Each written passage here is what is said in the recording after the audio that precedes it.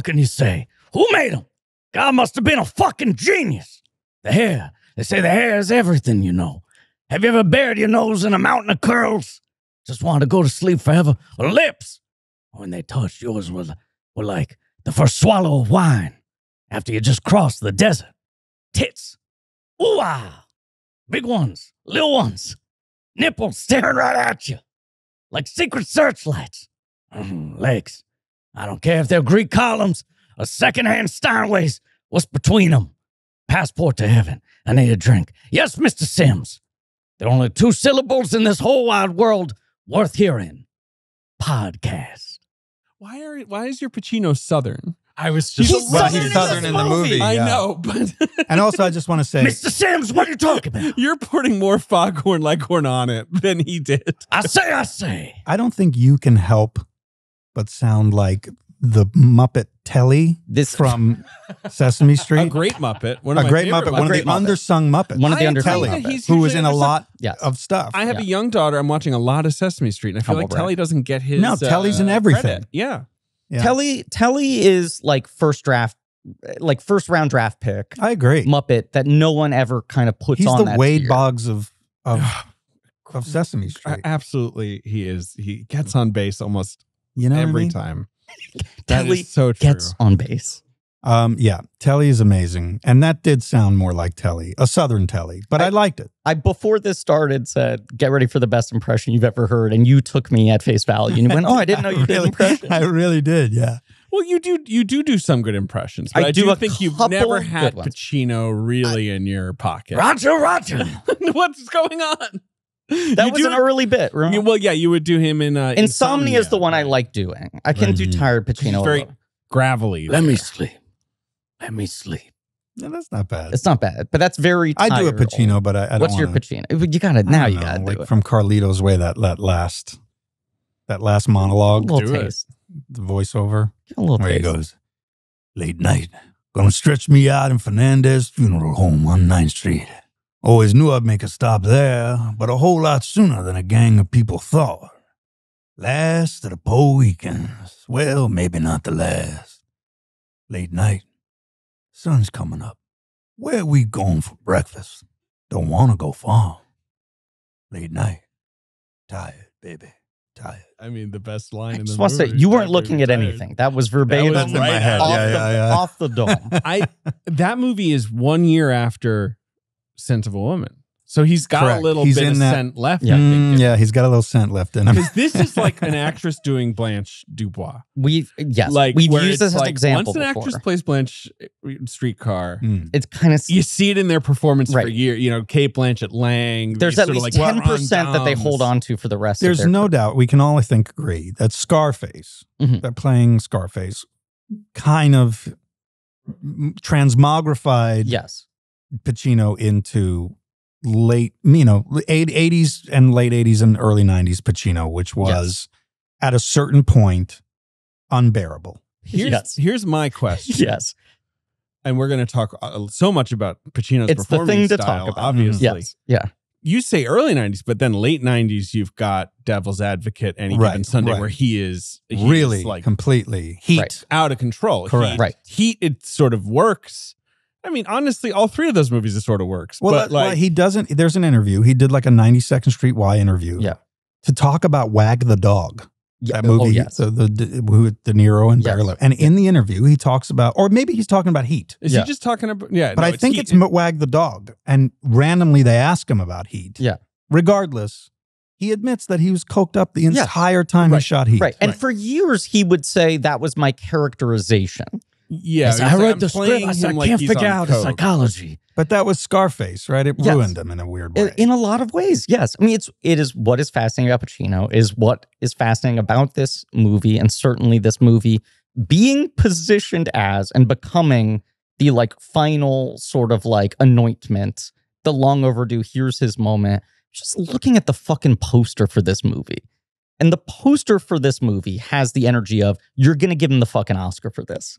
There's a certain arrogance to the poster, or Well, a 'cause sense it just of says like fait accompli Pacino. and it's his the letters in his name are so spaced out it's just last name You probably remember. Yes, I do. Of course. But I'll tell you this Yeah, please. I get it. I As an actor, I get it. Yeah. I get it. And Yeah. I'll tell you why I get it. Yeah. I think he got bored Mhm. and paranoid, Yep. which the cocaine might have helped with that. He's also he had a the 80s and making very weird 80s, which we'll talk yeah. about. He felt, I think, if Frankie and Johnny, he felt, I think, that the Dog Day Afternoon guy, that that guy was a one note thing. And I think he got paranoid. He became more and more famous. And he's thinking, hey, I got to blow it up. Then he goes and does Scarface, and people go, oh my God. And he gets all this street cred for it. Right? And but he also the thinks that's the real deal. right.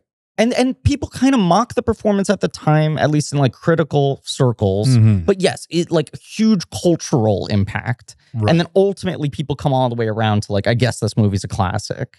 he was paranoid. I think that he wasn't showing enough range in his work. And that's what he respected in other actors. The problem is he he hadn't hit the realization that I think De Niro hit Yeah. early on, which is like, oh, as long as I'm the most natural delivered delivery actor in the history of acting, I can do anything as long as I just do that Yes. through every Presence. performance. I can Right. play any role Yeah. and I can do comedy, I can do drama, as long as I just trust that people love my essence and as long as I'm just as natural as I can be. And I don't think Pacino ever came to that realization, or maybe hasn't until like recently. But also by 1980, De Niro has won two Oscars. Mm-hmm. Pacino has won zero. Correct. He's given several of the greatest screen performances in history. and there's no doubt that Pacino feels competitive with of De Niro. course. And he starts to feel like, am I too subtle? Like, is my thing Mhm. too small? Like, he's kind of like letting other people score in movies where every actor is like, he's the guy, Right. but the Academy refuses to award him. I can see him sitting down prior to filming Scent of a Woman and saying to the producers, I want to leave no stone unturned. I want to make it without a doubt that this is the greatest performance. It's a really good impression. It's You very know? good. You got it. You know what Yeah. I mean? Yes. Introduce Yes. our show, Griffin, Yes. and then I want to continue this line of talking. This is a blank check with Griffin and David. Here's the other Cool. big discovery I made the other night. I rewatched uh, Tropic Thunder on a whim a couple nights ago. I hadn't seen it in a while. And then rewatching this movie today, I was like, Downey Jr. sounds a lot Yeah. Like Scent of a Woman Pacino. Right. Oh, he's, does he? He's That's funny. his quote unquote black voice. I'm a Right, dude. Right. Right. Playing another dude. Right. Yeah. Um, It's a podcast about filmography. Directors who have early success you really lose it the longer you go with It it. just goes. early on in their careers. It's totally telly. Giving us here's a blank check to make whatever crazy passion projects they want. You're also doing kind of William Shatnerian, like you know, Sometimes the variants check's clear. right? Yeah, And sometimes they bounce, baby. I, I don't even know what that is. bounce, baby. It's a miniseries on the films of Martin Brest. Yeah. Martin Brest, We're right in the middle of Who his career directed- here. one of the great, fi- one of my favorite films. Midnight Run. Oh, yeah, undoubted. One of the perfect It's movies. One of a the very- perfect films. Yes. a Yeah. very you movie too. I oh, feel Oh my like you- god! you, I, I, I, I, could you learned right so much that watching movie. that film. You learn everything from that. Everyone I have told we're doing It's his best movie. Martin Brest has that response where they just go, well, that's it's Midnight. just an unbelievable Midnight movie. Run." Yeah. It holds up so well. It'll never. That's a timeless movie. and and gets better every time I watch it. As you said, like it's a movie you can study and you go, it's all in here. Everything Mhm. you need to know about the craft of commercial filmmaking Mhm. is in this film. It's perfection, and and Yeah. De Niro is so funny. Unbelievable. So he's got he you know you know De Niro sat there and was like, "Shit, they're pairing me up with Charles Grodin. He's one of the funniest people ever. How's how am I not going to get buried by this guy?" And he was like, "You know what? I got a comedic bone in my body, comedic bone or two. But that's like And then he kind of is funnier He's than Charles kind of- Grodin in the movie. He's also at his at his handsomest. I think he's, he's, so hot. He's really hot in that movie. I mean, we will have talked about it last week, Mhm. but this is Podverley Hills cast, Oh yeah, right. That's what the the films of. Martin Brest. Yep. Mhm. This is a very weird inflection point in his career. I mean, he is a guy who sort of has like a clear demarcation point. Yes. Yeah. Even though this movie was a Because he also directed Gigli, right? Correct. Did. Giggly, that's, yeah. that's the one that kicks him out of the right, out right, of the out of the industry. industry. Yeah. but this is Christ. right out. this thing that happens with a lot of these guys, the most like successful comedy directors in Hollywood, who go like, I want to get serious. I want to make a comedy that makes you cry. I want to go Tony. I also think this was this is the Dead Poet Society era where it's like these kinds of movies are hot. Right, A right, tum- right. meaningful, a tom right. Give me a score. Thomas Newman score. Yeah. Mhm. Give me you know a Right. prep school setting. Like Mhm. you know someone's gonna learn a lesson. But there's something like this. I, I was watching this and I was like, you know what? Green Book winning Best Picture has a lot to do with, I think, a certain percentage of the Academy having nostalgia for this exact era of Oscar bait. Mm. right the kind Right? of like light light drama. Awakenings, Right. Yeah. A- which is not a light drama, but has some funny stuff. a- Robin a- a Williams. funny There's drama. a light touch, right? Yeah. It's like Mhm. a movie where you're like, you know what? It's thought of. Green Book's got a light touch. That movie is. Sorry, keep no, going. all these movies are, if you look at them, kind of insane, right? This movie is crazy. But they're like, right, filmmakers. This movie does not hold up. No, No, it does. I'm glad you agree. It would be it would be tough if you were coming in here being like, guys, I'm here to go to the No, no, this movie really does not hold No, up. it doesn't at all. I was kind of hoping to like it more this time. I I liked it didn't. a little more this time than I remembered liking it, but I do not think it holds up. The other crazy thing with the poster is it's like Pacino in these like dramatic, Yeah, yeah. spelled out, yeah, spread out Yeah. letters, and then above it from the director of Beverly Hills Cop. It does say that. Mm, yeah. and then it's this like just two men walking through a leaf strewn park. Look, I have a friend who hasn't seen as many movies, and sometimes, oh, what do you watch? I'm watching Sense of War, and she's like, "What that? What's that about?" And I'm like, "Okay, here I go." Is this your wife? Are you talking about your wife? no, although she's another one. Yeah. like where you're like, okay, okay, I'm like.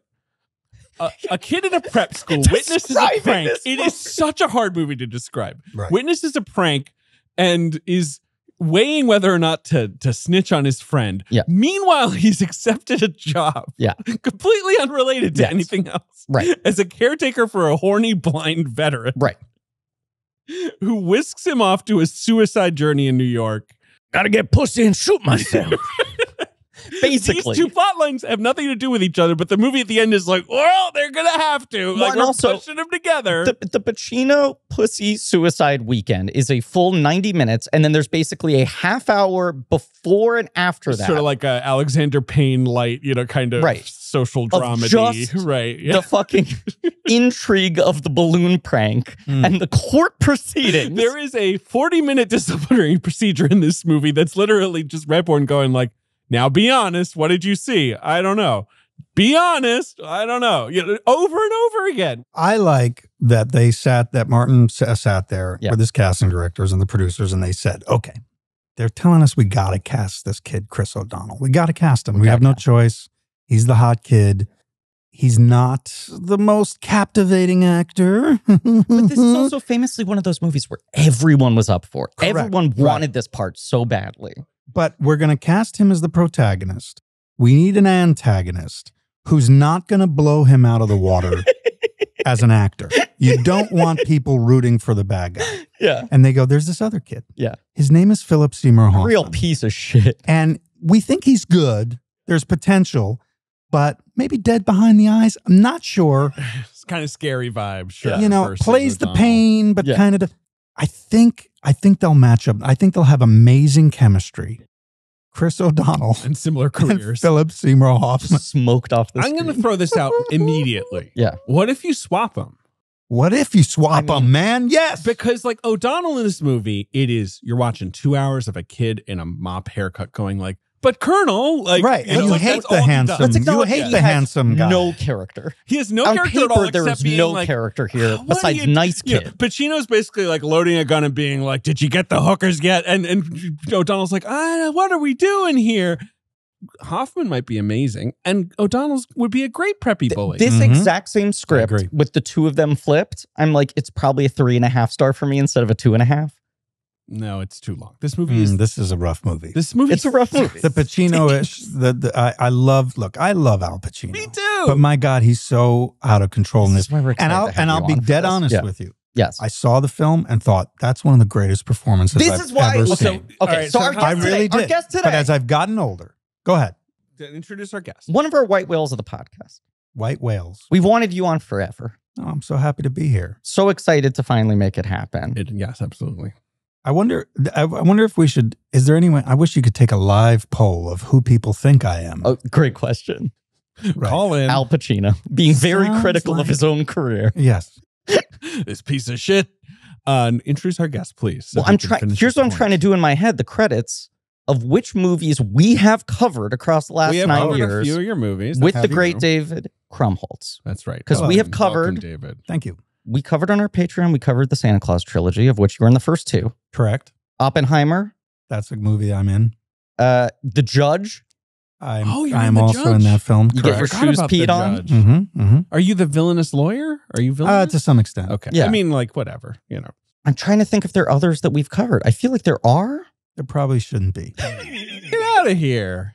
Addams Family Values, we have not covered as long promised. But that's a great film. It's David and the I best contend, films. one of the best Yeah. comedies of the 90s, Mhm. period. Period. That's a great fucking movie. That's a Mhm. film I've seen more than any other, almost any other movie. A sequel that is well Well funnier above than the first. Yeah. yes. Mhm. Yes. The original is a, actually an incredibly flawed movie. But I've made so many bad movies. You made a lot of good movies. I you made did some good something ones. terrible. I'm sorry to bring it up. Go ahead. I shouldn't. Bring, you stabbed Kellie Martin, you jerk. Oh, wh- what are you? Oh, are you like a, a Midwest housewife, like 80 years old, no, I was a 75 year 10-year-old grandmother? boy who had a huge crush on Lucy Oh, Knight in okay, ER. okay. I was about to say, what's going on here? Ice Storm. the Ice Storm. Oh, that's yes. right. Did you We do covered- the Ice we Storm? covered Covered the. Ice Storm. Very Great yes. film. Very good. Uh, the Mexican. Oh yeah, the Mexican. We've never- We Or have not covered, but Verbinski That'll be in we the were talking about before. Was he nice? Off mic. Verbinski? I loved him. Yeah. Yeah. he seems cool. I don't know. He's a sweetheart. That might be the full. But we, I mean, I'm just looking at the list. There's a lot more that we need to get around to. So, yeah, absolutely. You were Yeah. in the film I saw on my first date. What's that? You want to guess? Harold and Kumar. Great, to White great Castle? choice. But no, I was I was like 18 by then. I've been on Okay. a few dates. Ten Um, things I hate about you. Oh, I It's apologize. your first. quite- You guys have never done 10 Things I Hate About You. well, we you know, we do directors. Gil Junger. Right. Gil, Junger. yeah. Yeah. Oh, you do directors. So right. like Yes. right, like I feel like we should, you know, we yeah, should, yeah, yeah. we should squeeze that in somehow. What else has Gil Junger done? Didn't he do Romeo? No, not maybe Romeo and Michelle. No, he did something No. like that Uh, after. What did he do though? Is he, did a Nia Vardalos movie, I want to say. Oh, did he do? The follow up to My Big Fat Greek Wedding. Did he do uh, Connie and Carla? No, I think he no. did. Um, I don't know. My Life in a Ruin? No. I don't know. I don't know what he did. He did Um, Black Knight, which I bet you Ben saw. Oh, yeah, Black Did you ever Knight. see Ben Black Knight, the Martin Lawrence movie? Hell Oh, yeah. that's right. He did Black Knight. Yeah, yeah, yeah. we we have Uh, talked about He's done a uh, lot of TV. It looks like he does a ton of TV. doing Yes. a a teen adaptation of Shakespeare series, where that's Mm. where we could slot in Oh, yeah. ten things. Ten things I hate about you. Right. of Um, but the great David Crum- Krumholtz, Hello. one of our favorite actors. I'm all right. You're one of our favorites. Uh, and like 10 years ago, almost, I guess uh, eight or nine, we had just started doing the podcast. We are like, can we get anyone to guest on this show? Anyone. And I was on I used to be a UCB house team. I don't want to brag. I did make a house team. It was a Maude team. It was a Maude team. sketch. I did a show. Someone comes backstage and goes, David Krumholtz wants to meet you. Well, that's right, because I was uh, You were stru- sitting the struck crowd. by how talented you were. It was, you saw the the one good show I had. Well, can I say something? Yeah. All right, I'm going to say something that I don't think this is going to be received well. Oh boy. If it's a compliment to me, our listeners are going to hate no, it. no, no. It's I bristle at some Mm, improv sure. stuff. hmm I find the LA improv scene to be a little taxing I'm sure it is. as compared to the New York. And and when I say improv scene, I mean UCB. Yeah, yep. Um I have been doing I've been a guest monologist at Asssscat Mhm. since I was 21 years old. Wow. So 24 years. So I did it when it was Ian and Matt. You've seen the eras. Amy and Yeah. Horatio Sanz and Yeah. Tina Fey. And then later on, I took UCB 1, 101, Right. 201, and 301. I think this was when, Yeah, I was yeah, I was having to see shows. yes. And I also took a UCB writing course. I think that's when. Yeah. Yeah. Okay. And as a result, Yeah. I think some of it gets stale. And in LA, it's very witty referential. Mhm. It's very inside jokey. I'm gonna I'm gonna ref- reference some random '80s movie. Yeah. and you'll find that witty. People And are it's just not- trying to book a sitcom, right, and it's LA. not the it's not the performers that bother me. It's the belly laughter from the crowd over a referential witty joke Yes. Rather than oh that's clever which is what I'm thinking. Oh, that's clever. Yeah. But nothing that would make me guffaw. Right.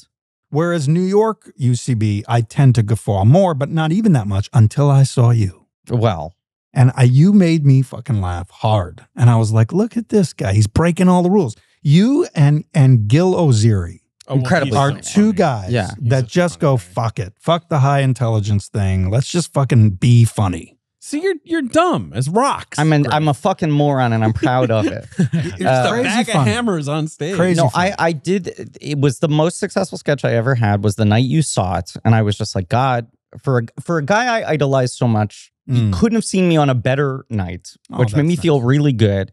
But it was a very dumb sketch uh, about a physics professor who showed up to an English class.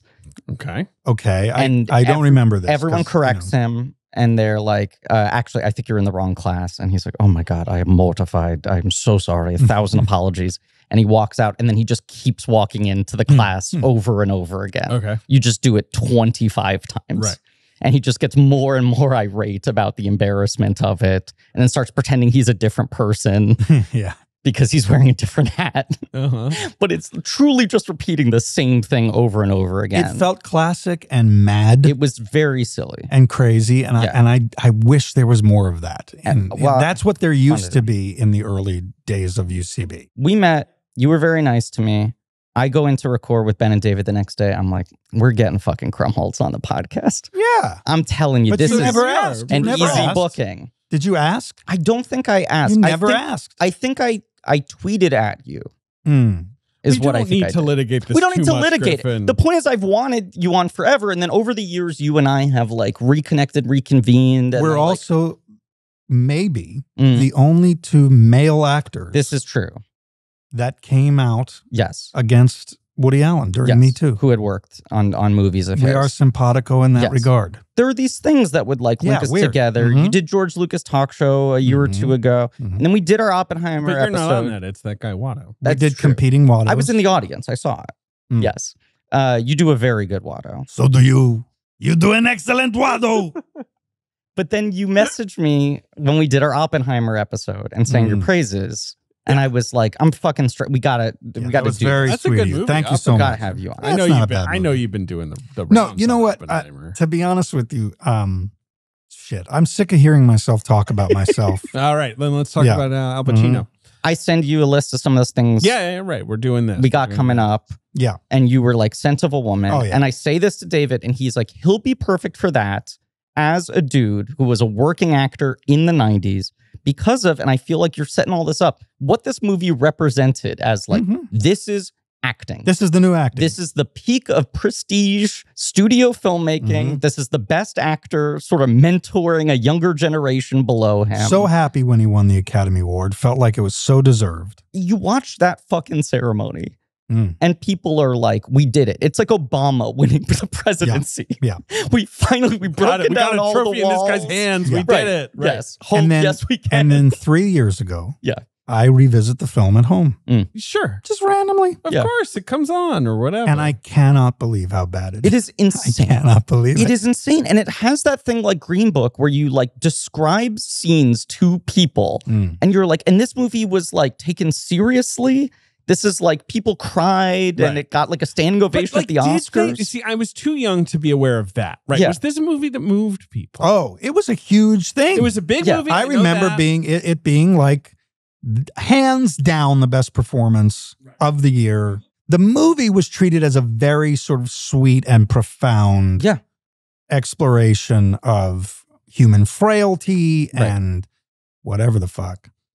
Um, It's really hard to imagine. and Yeah, the and way like you said, smell. those were the kinds of movies that were being made. Awakenings, human frailty movies. yes. And, and Penny movies Marshall, about well-meaning people that get screwed by life but somehow. Penny Marshall, another example, right? Like Mhm. Peter Farrelly, David Zucker, these guys who are like big comedy directors, and then they're like, Let me I'm- shift half into Let me drama. shift. You know who never did that? Who? I, as far as I know. Mm. Well, he kind of did it, but he didn't do it into. Oh well, we shouldn't bring this up. who are you gonna say? The greatest com- comedy director of all time.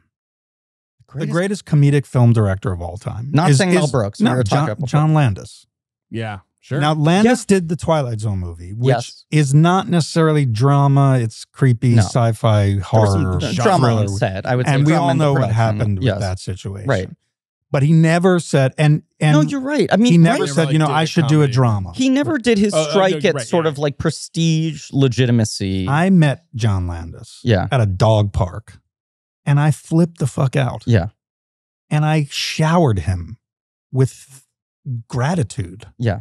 and it was as if no one has had said that to him in like a decade. Really. And I thought that was so wrong. Yeah. Yes, I know he got written off because of what happened on the Twilight Zone, which really, how much can you blame him for that? Probably a good chunk, but not like the whole way. You can't Yes. give him, regardless.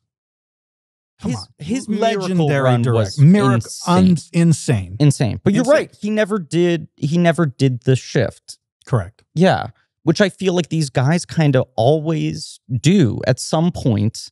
It's the classic, like, you know, I, I kind of made it to the top of the mountain, Mm. but there's something I don't have. Let me show them. There's a final bit of respect Mhm. that only gets anointed.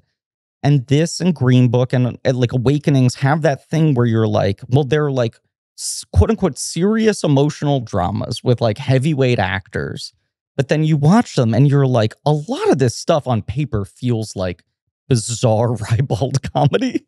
Well, but but let's talk about what happened after sort of the Bill Murray Eddie Murphy thing. Yeah. Is dramedies Yes. big 80s, like a huge decade Where for like out and out comedy. Uh, right a league of their own. Yes. Okay. Yeah, sure. So you've got these funny movies that are comedies, marketed as comedies, but they have tremendous heart. Fried green tomatoes. Yes. Okay. Um And they not only that, these are movies that are hugely successful. They make a lot They- of money. they- They, drive cultural. The like Correct. you proudest know. product that the major studios are putting out. correct. Yes. Not made any no one No. makes those movies No. anymore. They don't exist. No, this is don't my exist. take on Green Book. They're It's a certain maybe. percentage of people were just like, fuck, I missed this being the thing 25 years ago. Mhm. I'm voting for this. This doesn't happen anymore. Right. Um, I, I it is interesting to consider like, was Tom Hanks single-handedly the transition point there? Hmm. Like him going from Bachelor Party to Mhm. Big as a Bridge to League of Our Own to Philadelphia Mhm. not just creates a roadmap that other actors are following, but almost that like directors are following Mhm. and sort of like we'll build something around a guy like this at a transition point. Hmm. You know? Well, here's the thing. Batteries not included. Um, another movie, another comedy about. Robots, Another Alien comedy about robots. robots. Yeah. but very sweet. Yeah. Um, here's the thing. How many directors can really show range in their in their choices? Very few. Very few. And it, and if anything, it's comedy to drama. Yeah. Right. It's always either drama to comedy or comedy to mostly comedy to drama. Rob Reiner, another example of what we're Another great about. example. Yeah. Another great example. Yeah. But then they. But then there's like the Spielberg. Well, who sure. has gone out of his way to direct every genre.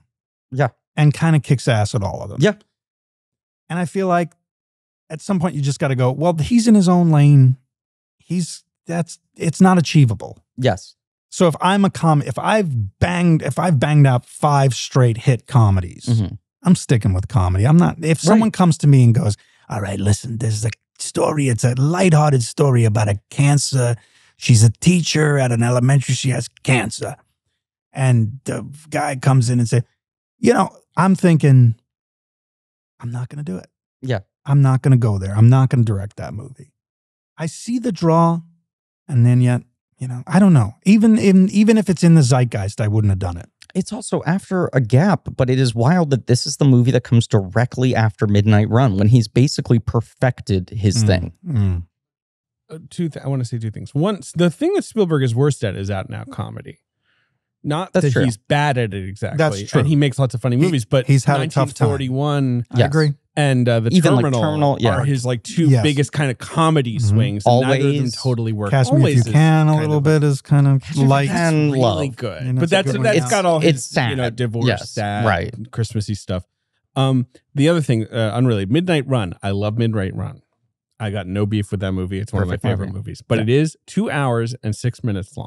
The the runtime creep is starting to happen. and right, and maybe he's feeling like, yeah, they I, I could take an hour, an extra hour of that movie. In that Whereas case, this movie- absolutely. Marvin Dorfler. This you kidding? movie, and I'm seeing this right here. Yeah. This uh, Scent of a Woman is 400 hours long. It is Right. the longest film ever. Is- well, until long Meet Joe. Black, which is 800 hours long. Mm. and this is not a movie where you're like, yeah, no, but this is a roomy story. This is the opposite of a roomy story. But this is what I'm saying. This movie could start with Chris O'Donnell showing up for the interview and end with saying goodbye to Al Pacino in the car. And you're like, okay, that's like a roomy, like There's plenty of movie there. hour, 40 minutes or whatever. Right, there it- 30 minutes on either end of just the school shit. Right. That, as and- you well, said, the, is the kind second of half, the, the second, the, the, the, the, toward the latter end, it's, it's the trial, right? Yes. Uh, yeah. Which is insane that this movie turns into, Into a like a movie. kangaroo court where Mhm. James Rebhorn basically comes out and goes like, "No, I want to make it clear. Actually, none of this means anything. Mhm. I just set up some desks in our biggest venue, That's our biggest lecture hall." And I what does he never say? He's uh, Pacino.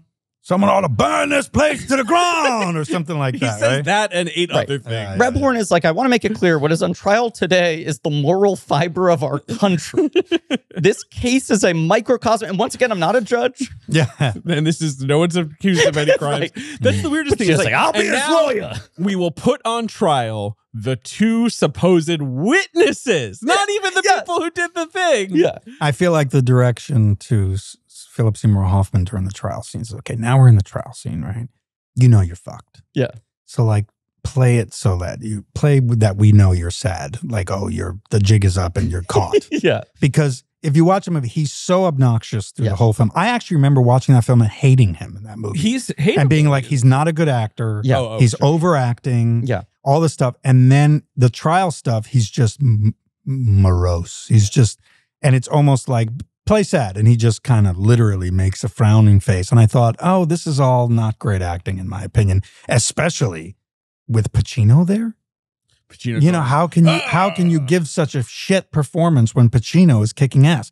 Years later, you watch the film, Seymour Hoffman's brilliant. Yes. Pacino is terrible. outrageously silly and and and way out. Pacino is at his worst in that scene. Yes. Because you're like, okay, well, he's here. Yeah. So Mm. he's going to say something really interesting to turn this all around. And so he's just like, this is out of order. This boy's all right. He doesn't need you. Fuck you. And you're just like, that's it? That's his whole argument? And Rebhorn's just kind of like, oh, no. Who are you again? right. Defender the boy's parents. In How do we loco get across- parentis. How do we right. get across that being blind sucks? I think we should have a, him just scream, "I'm in the dark here.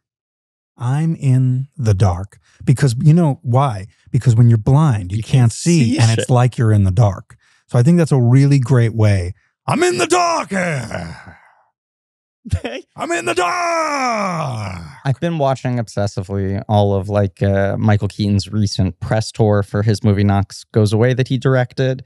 And obviously, most of these interviews he's doing for his independent film, all anyone wants to ask him about is just Batman and Beetlejuice over and The over new again. Beetlejuice, Right. right? So most of these interviews have become about Beetlejuice, and he just keeps saying things to the effect of like, the thing I loved about Beetlejuice as a character that made me like want to return to it all these decades later is you're just like, this is a character where nothing is out of bounds. You can get away with doing anything. This guy has no rules. You can't go too big. You could swerve at any moment. It felt very free. It's basically basically a cartoon totally. where you can where there's no rules to there's no human rules to him. Nothing nothing human holding him down. That's the magic of that performance is you feel his boundless energy and imagination and everything he does is funny. But also, Beetlejuice is in 20 minutes of that movie, and despite being the title character, he is in no way the movie, the movie's narrative spine. It is not hung on him. He comes in, he's color, he like throws some chaos in, he disappears again for a stretch of the movie. Pacino is in full Beetlejuice mode in this movie, where he's Oh, like, yeah. Okay, so I'm blind. I can do anything. That's right. There's, there's nothing I could do that would be out of character. Martin, I was thinking last night. Thinking about if he's blind, he's got to have super hearing. what if I can hear conversations taking place in other scenes that I'm not in? Mm. I can hear the time. So Chris O'Donnell shows up and I say, I know you talked about me in the last scene you was in. He can hear facial gestures. I can hear your Somehow. face move. Yes. he can hear Chris O'Donnell's background. He knows what his parents did. Unprune, unprune your chin, young man. How did you find this out? You don't have fucking Wikipedia. Oh my god. Mom and pop store. It's amazing. It's insane. And and look, look, I have learned from experience that you can be a great actor, but when you're if you have an intimate scene with someone who's not, Yeah. it can make you sort of overplay, Sure. Overcompensate for fill the what's not there. Yeah. In Pacino's defense, and look, and I'm not I look, Chris O'Donnell's probably a wonderful human being.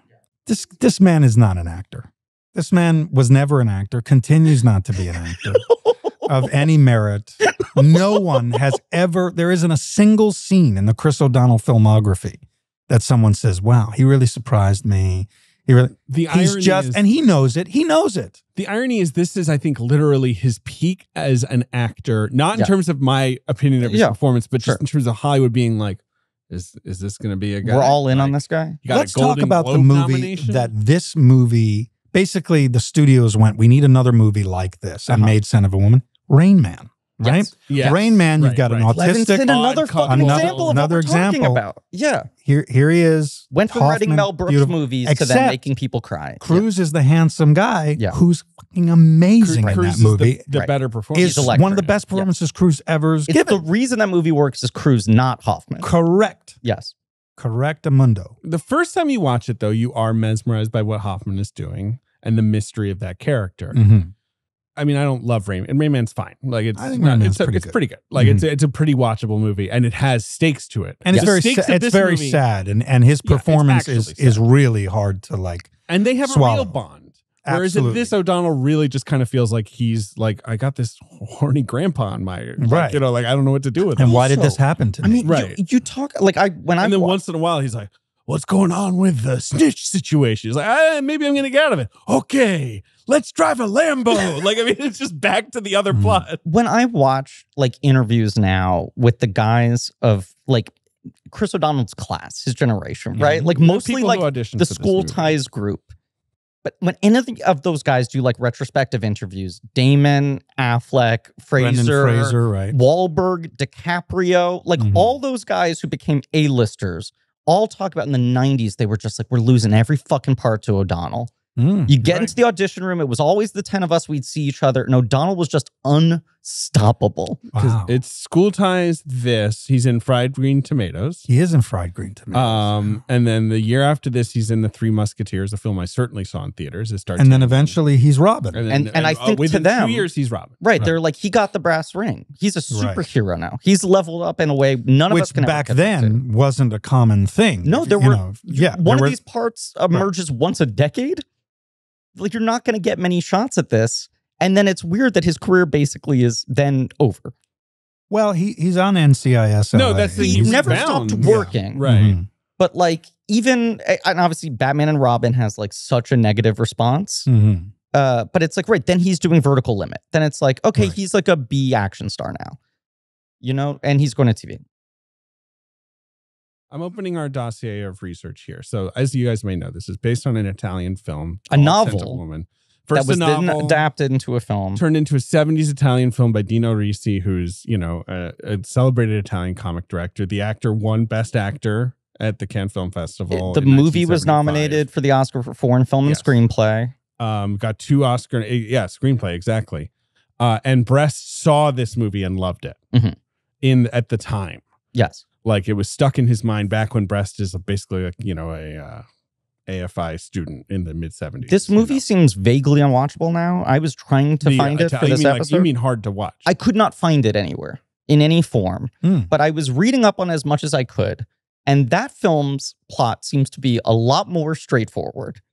It is like he is a military veteran, he hires a kid to help bring him to visit one of the other men he served with. Oh, And then it is Totally revealed that he has the suicide pact, that this is like the final trip, the Mhm. weekend. I want to know a woman one final time, and then I'm going to shoot myself.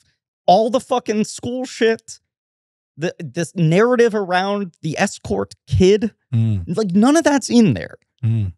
It's seemingly. It's very interesting. And it, I think that movie's a little more overtly comedic while being a little tragic comedic. But it's like Uh, Italian Robert- countryside. Is Roberto Benigni the veteran? That's a good question. That'd be amazing. He would be good. And he was he was around in 1970. How do you say I'm in the dark here in Italian? uh, how would Benigni say it? Yeah. It's No, uh, that's that's Vittorio Gassman. Imagine him trying to climb over the chairs blind. and The shit he would do. Momo. Those are the actors. You know who we're not talking about, and I think we need a moment to. Why does the movie win me over Mm. when I'm a kid, and maybe you too? Sure. The charming, subtle cuteness, adorableness of Gabrielle Anwar. well, she's Gabrielle The Anwar, scene. I mean, Yes. who is sublime on film, Right. and doesn't have to do much. No. She's very cute. She's very sweet. She's very genuine and natural. She's in the For the Love of Money with Michael J. Fox. uh, she's the d- the, yes. the female lead in that. That's that's uh, right after. Not a great movie, but you know she's doing good. She's a cutie pie. Fell off the face of the earth. Yeah. Well, Where I- is know, Gabrielle her up. Anwar? We Yes. all forget she was on Burn Notice of course. for seven seasons. Like you know, Okay. she Th- that's she- a USA show. that was a was USA it Networks? or TNT or one of those. Mm. Um, according to her IMDb trivia, she once held the record in the Guinness Book for world's fastest talker. really? Really? Yeah. Isn't that bizarre? For, for it was that like a movie? faster than the Micro Machines guy she competed against auctioneers, sport, sports announcers, etc. I don't know. and may- the Micro Machines. I mean, guy. if he didn't show, I would contest that. yeah, no, no, exactly. Yeah. If he wasn't at those, that yeah, because the Micro Machines guy is and Busta Rhymes. And Busta Rhymes. Busta Yeah. Rhymes very Yes. good. Mhm. All right. Uh, so Brest loves the movie. He finds out the rights are available. He's he's Mm-hmm. Okay. casting around for something to do after Midnight Run, right? You know, Yeah. the man takes his time. Right. Um. Five years in between the two films? Yeah. Yeah. Uh, four. that Run's eighty eight, isn't it? Or is I it thought it was 87? 87. It's eighty eight. Okay. Sense of Four Woman years. is nineteen ninety two. Yeah. Um, but basically, he's completely drawn to this. He brings in Bo Goldman, who is an Academy Award winning screenwriter. He wrote One Flew Over the Cuckoo's Nest. He wrote Melvin and Howard. And may I say, it's not a bad script. It's not a bad script. It's not a great script, but it is not a bad script. No, the dialogue is strong. Yeah. he certainly asks yes as sort of a, a- and he basically is like look adapt this movie but vaguely like Yeah. you can do what you want i really am just interested in that idea of the central character the blind Sure. veteran uh, he watches the movie and goldman says you know who served in the army Mhm. served in the marshall islands uh, after graduating from princeton he's like i remember my first sergeant in the army I remember my long lost brother who became an alcoholic and had a tragic life. And like I sort of combine these characters together to make Al Pacino. Like that's what he's doing, he says. Okay.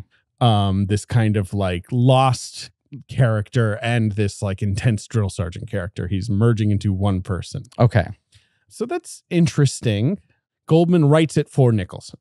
M- It makes sense. It would have been Yes. incredible. Right. And like you can imagine there's some sort of last detail in there, right? Like, Yeah. you know, what Mhm. about let's check in with that guy Right. 20 years later, right? Combined with I obviously that comes later, but combined with the what he later does with Colonel Jessup, you know, you could see him finding the midpoint between the two. Absolutely.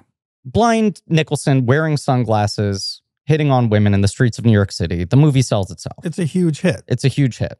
Nicholson doesn't want to do it or is unavailable. I'm not Okay. really sure what Nicholson's doing in the early 90s, but I feel like it's a sort of an odd period for him, right? Hmm. Like, isn't that when he directs a movie? Yeah. well, could- Mars Attacks. Well, That's a later. little That's later. a little later. Uh, well, is no. Two Jakes early 90s? Isn't Two Jakes? Yeah, that's 1990. You know, he's Okay. doing his own stuff, I guess. Hmm.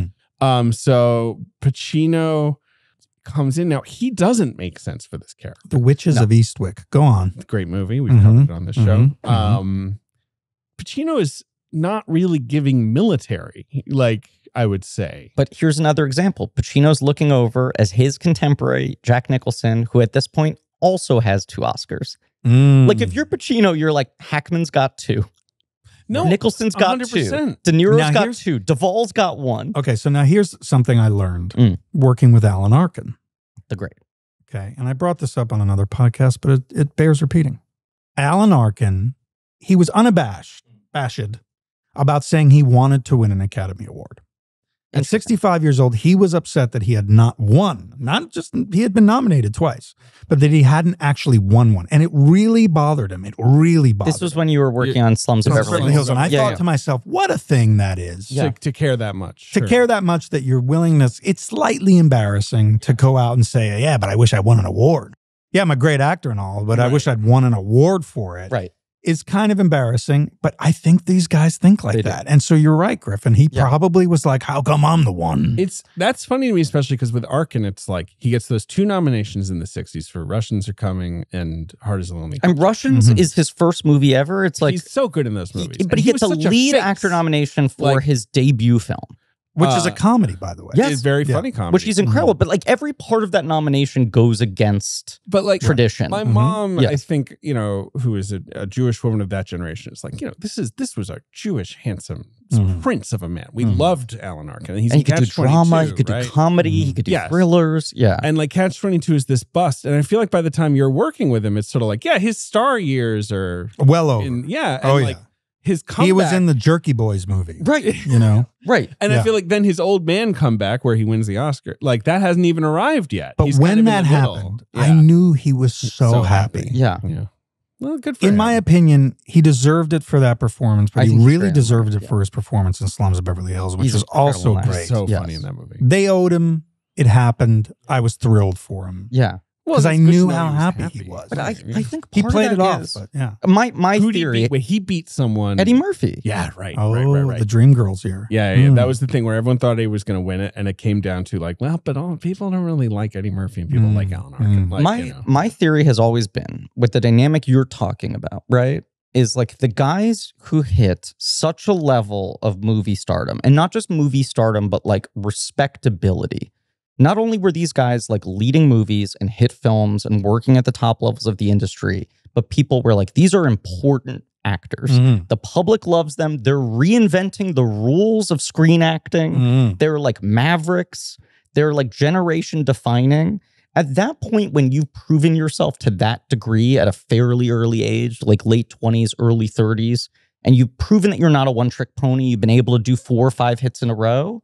At that point, what you're competing with is like legacy, right? Right, right. Those guys are no longer like, I'm trying to move up the mountain to the top of the hill. I want my shot. right. It's like what I'm competing with now is do I go down in history alongside Jimmy Stewart? right. Like I do think that becomes the calculation. And for a guy like that, Yeah. you're like, if I die and I don't have an Oscar, do they not remember me? I think there is some insecurity where it doesn't Mm. matter if you're in the fucking Godfather movies. If you're like, yeah, but I never won. no, I'm sure it weighs on him. See, for me, and call me cheesy, it's not an Oscar. It's the, it's a star on the Walk of Fame. That's what you want. I want the star on the Mm. Walk of Fame. You, You can get one, bought, you can right? buy it, Yeah. and, but Right. I want to have you want them to people want to go to like, you. I don't want people to like be like, oh, look at this, he bought Yeah. one himself for it. Uh, Does he really deserve it? I want people to walk past me. Yeah. There are names. Have you ever walked the Oh, yeah. recently? And you're like, who the fuck? I've never heard. And they're Yeah. stars from like the 1920s, Fred Travolina. but they live on forever. Yes. People yes. don't catalog who won Oscars in their minds, but you just take a walk down sick. the damn street. Do you know what I, the term I use internally in my head that I don't say out loud because I think it's embarrassing? I remember being young and going to some random pizzeria in Chelsea and they had a mural of like the great movies. Mm-hmm. Right. And it's like Rhett Butler and like Vito Corleone and the Ghostbusters or whatever. And I'm like, that's the dream to end up on the pizzeria mural. I do Yeah. think that Where you're is like- a sign of monocultural fame Right. beyond anything. You're like, this else. isn't Planet Right. Hollywood. This isn't a restaurant devoted to the history of movies. They bought some stock piece of art that's just some of the great Oh, movies. you know what must have been the biggest honor? What? was like in the late 40s or in the 50s when Yeah. when Looney Tunes Oh, when they like do a guy that looks like Eh, you. right. No, and it's actually there's It's like one Peter there's a cartoon that's Right. like Peter Lorre There's and the like one that's like Edward G. at the Robinson. Copacabana. Yeah, Yes, yes, and yes. dude, that would have blown my mind. Yes. I would have been there. It is. There's my Well, Mad legacy. Magazine's one of those too. I feel like people Mhm. talked about for so long of like if you get drawn by like Mort Drucker in Mad Magazine, that's like something. I I was in. I they did a numbers thing. Hey, Hey hey, yeah, there you go. can I tell? I don't know if you know this. hmm I am pathetically. This is a thing I admit to you with some embarrassment, but our listeners unfortunately know this all too well. I, I suffer from a crippling addiction to a cell phone game called Disney Emoji Blitz. Okay. That is like a sort I of I think I know that the can't game. Yeah, I know. I know what you're talking about. it's like a Candy Crush esque matchup, the shapes of the and there same is a type. Bernard one. There is is. there? Yeah. And when you play this game, you win the emojis that you add to your keyboard. And I have a Bernard. I have an emoji of you with multiple expressions that I send to people if I'm in that mood, if I'm in a Bernard mood. That's a form of immortality that I don't think you can take for granted.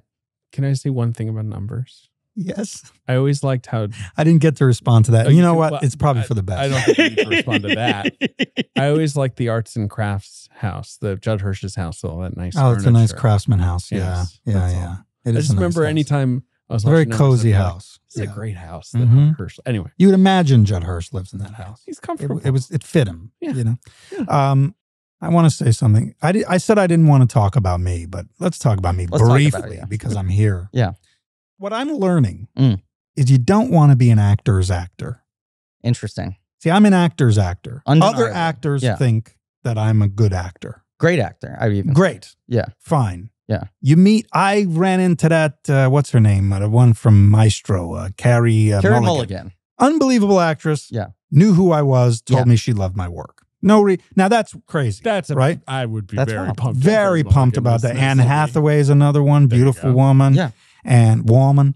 And uh, Beautiful woman. Beautiful woman. Um, woman. That's a woman, son of a woman. smell her water. Anne Hathaway.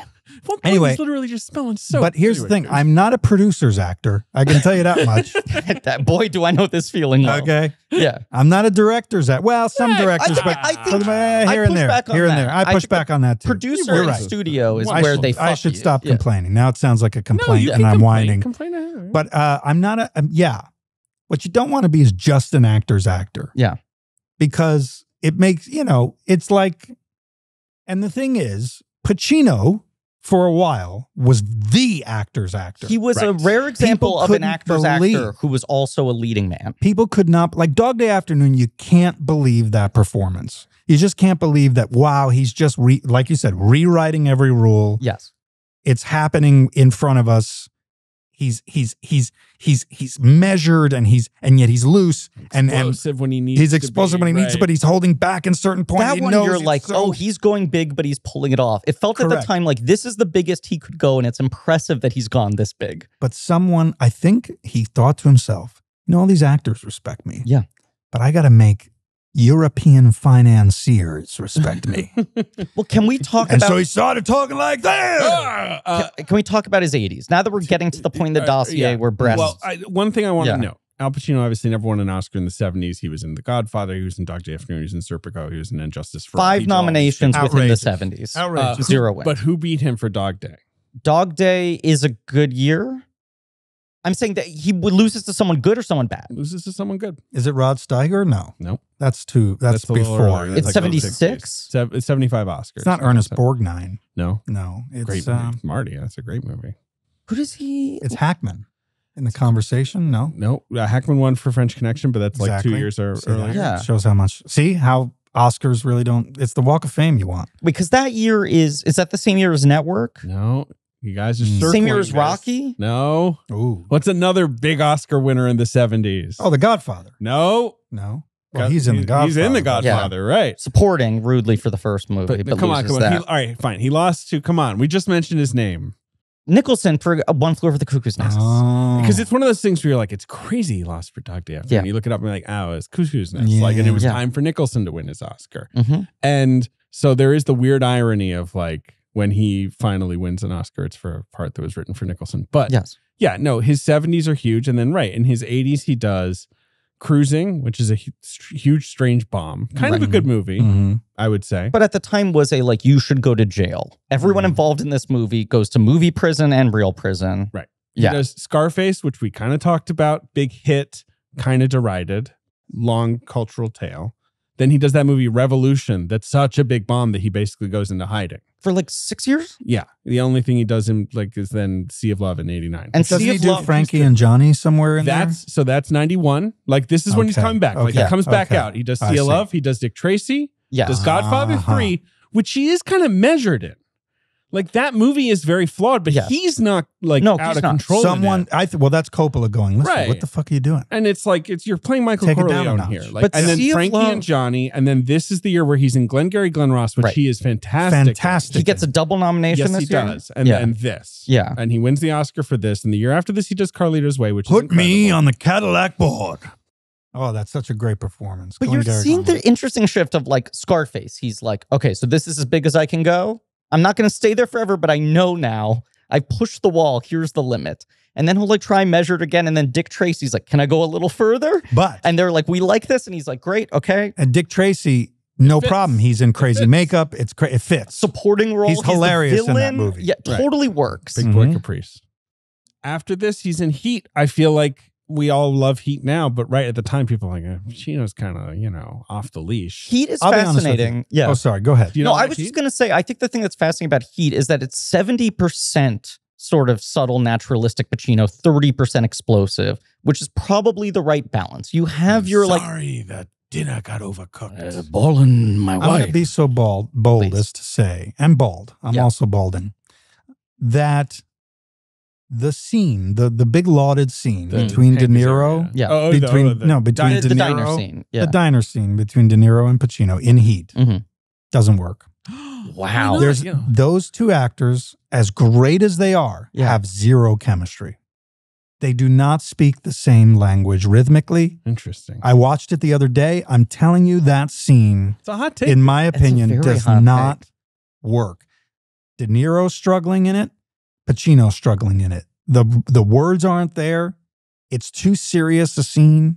You almost want to see a little bit of levity, a moment of like realism and levity. My friend, sounds like you should watch Righteous Kill. That's what you're looking for. I just don't I don't like it at all. I don't think Pacino took it down an appropriate amount until HBO's Angels in America. now I love until his that performance in that. Roy Cohn. And and I love and that. I was relieved that oh look at him he's going small. The HBO He's going small again. I would say that's a pretty big performance. It's a really It is, one, but then there's moments that are super I, mean, I think that performance is underrated. and then and and, then an playing for it or Brian. Spector. Phil Spector. Phil Spector, excuse me, not Brian Spector. Brian Spector's a Broadway producer, I know. Uh, sorry, Jesus I never Christ. saw Hi, Brian. Spector I hope- movie. Phil Spector. Oh, he's saw that one. amazing in it. Yeah. I saw Paterno, but that's just him sitting in a chair going, like, "What's going on?" Yeah. I guess I know a little bit. What are they saying? I Yeah. did. But this is also like Spector and Roy Cohn. He's picking real life people who he's a good fit for. and he can't make them. He's prohibited. He has to do the real person. Right. Sure, and those sure, people sure, are sure. already a little outsized. So him underplaying them Mm. suddenly feels like he's still getting to go big and go small at the same time. Mm. Right? Right. I think that's what was very clever. And then like uh, when he shows up in the fucking Irishman, you're like, here's fucking 70s Pacino again. Yeah. Well, he's yelling his head off in that movie. He is though, a which I little love. Dale. You cocksuckers! He says that like eight every eight seconds. He's always so good. he's in incredible in that movie. I think he's so funny and he's How very come- sweet and vulnerable in it. this is the movie I want to see. Before they croak. Yeah. Right? Two older ex mafia hitmen Mhm. are now old and retired. There's no more mafia. They go on one last attempt at a hit. They fuck it up. It's a comedy. And they're both bumbling. And one is just as bumbling as the other, but they pretend that they it's it's I'm dominant in the relationship. No, I'm not. I, you're not. I'm the dominant one. That's the movie. And it's Pacino Buddy and John comedy. Cena. Is it's the? Pacino and Joe Pesci Oh, together I mean, Wow. as two love that. bumbling. Come on, that I'd that never happened. funny. It's I'd I'd crazy. love to see Pesci be funny. Everybody Pesci loves to see stopped Pesci be funny. Yeah. Well, he did Bupkis. Yeah, he did Bupkis. I You didn't, know, I didn't watch it. Bupkis. Good lord, what happened with the second season of Bupkis? Uh, it was they it, called one of the quits, few shows to It's be on like renewed. Yeah, I know. Why Yeah. did people watch it? I think No? I honestly think Pete Davidson was like, I, I'm sick What are of we doing all this shit about myself. like, yeah, I think yeah. that was the vibe. I think the third time he makes something about his own life, In starring Staten Academy Island, and Emmy right. Award Yeah, winners playing his mom, it's gonna work. Um, okay, back to the research. Third time's the charm. Yeah. Pacino says the script is the script. I am not improvising this movie at all, except for Hua, which I when I got taught how to uh, load and unload a gun blind, which he does in the movie, he's cleaning the gun and all that.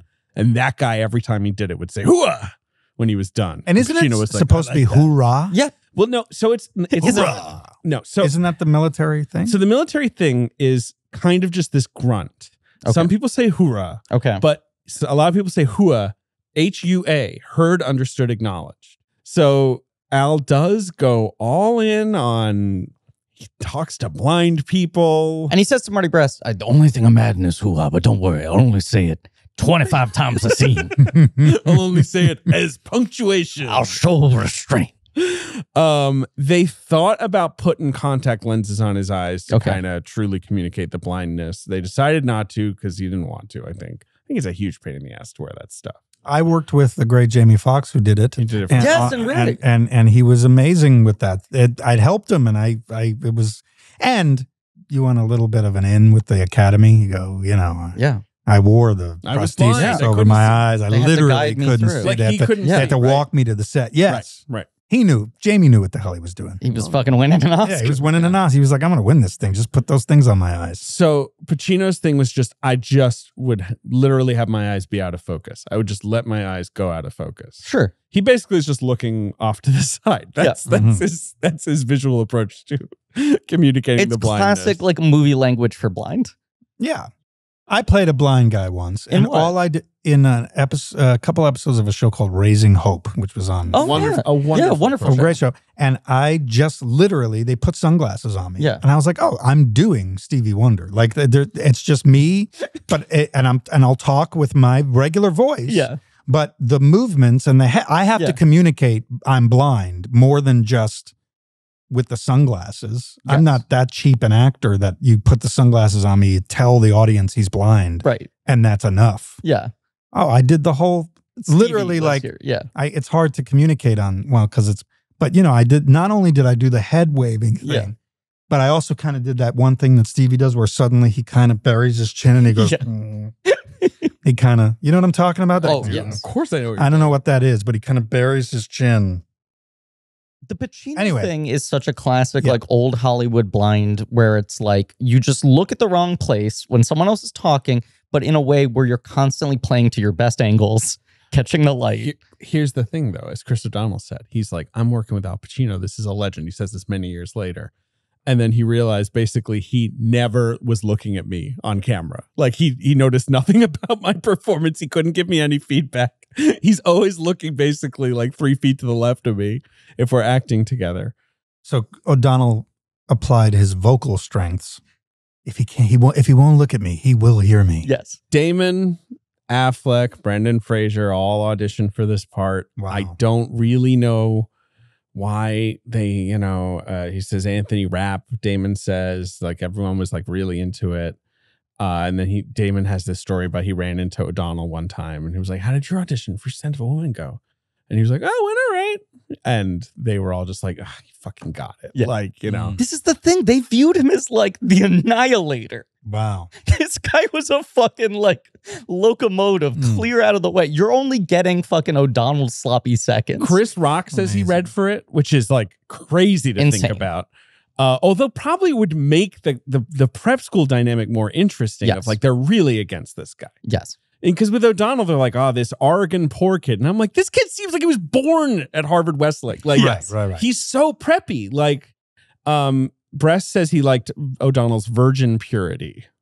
Okay. Uh, like because like I guess Pacino is so uh, jaded and horny that he Uh-huh. wanted like a very kind of chaste seeming presence next. To I'll tell you, that's a sentence that's never been spoken. virgin purity. Brest said he Brest said he liked O'Donnell's virgin purity.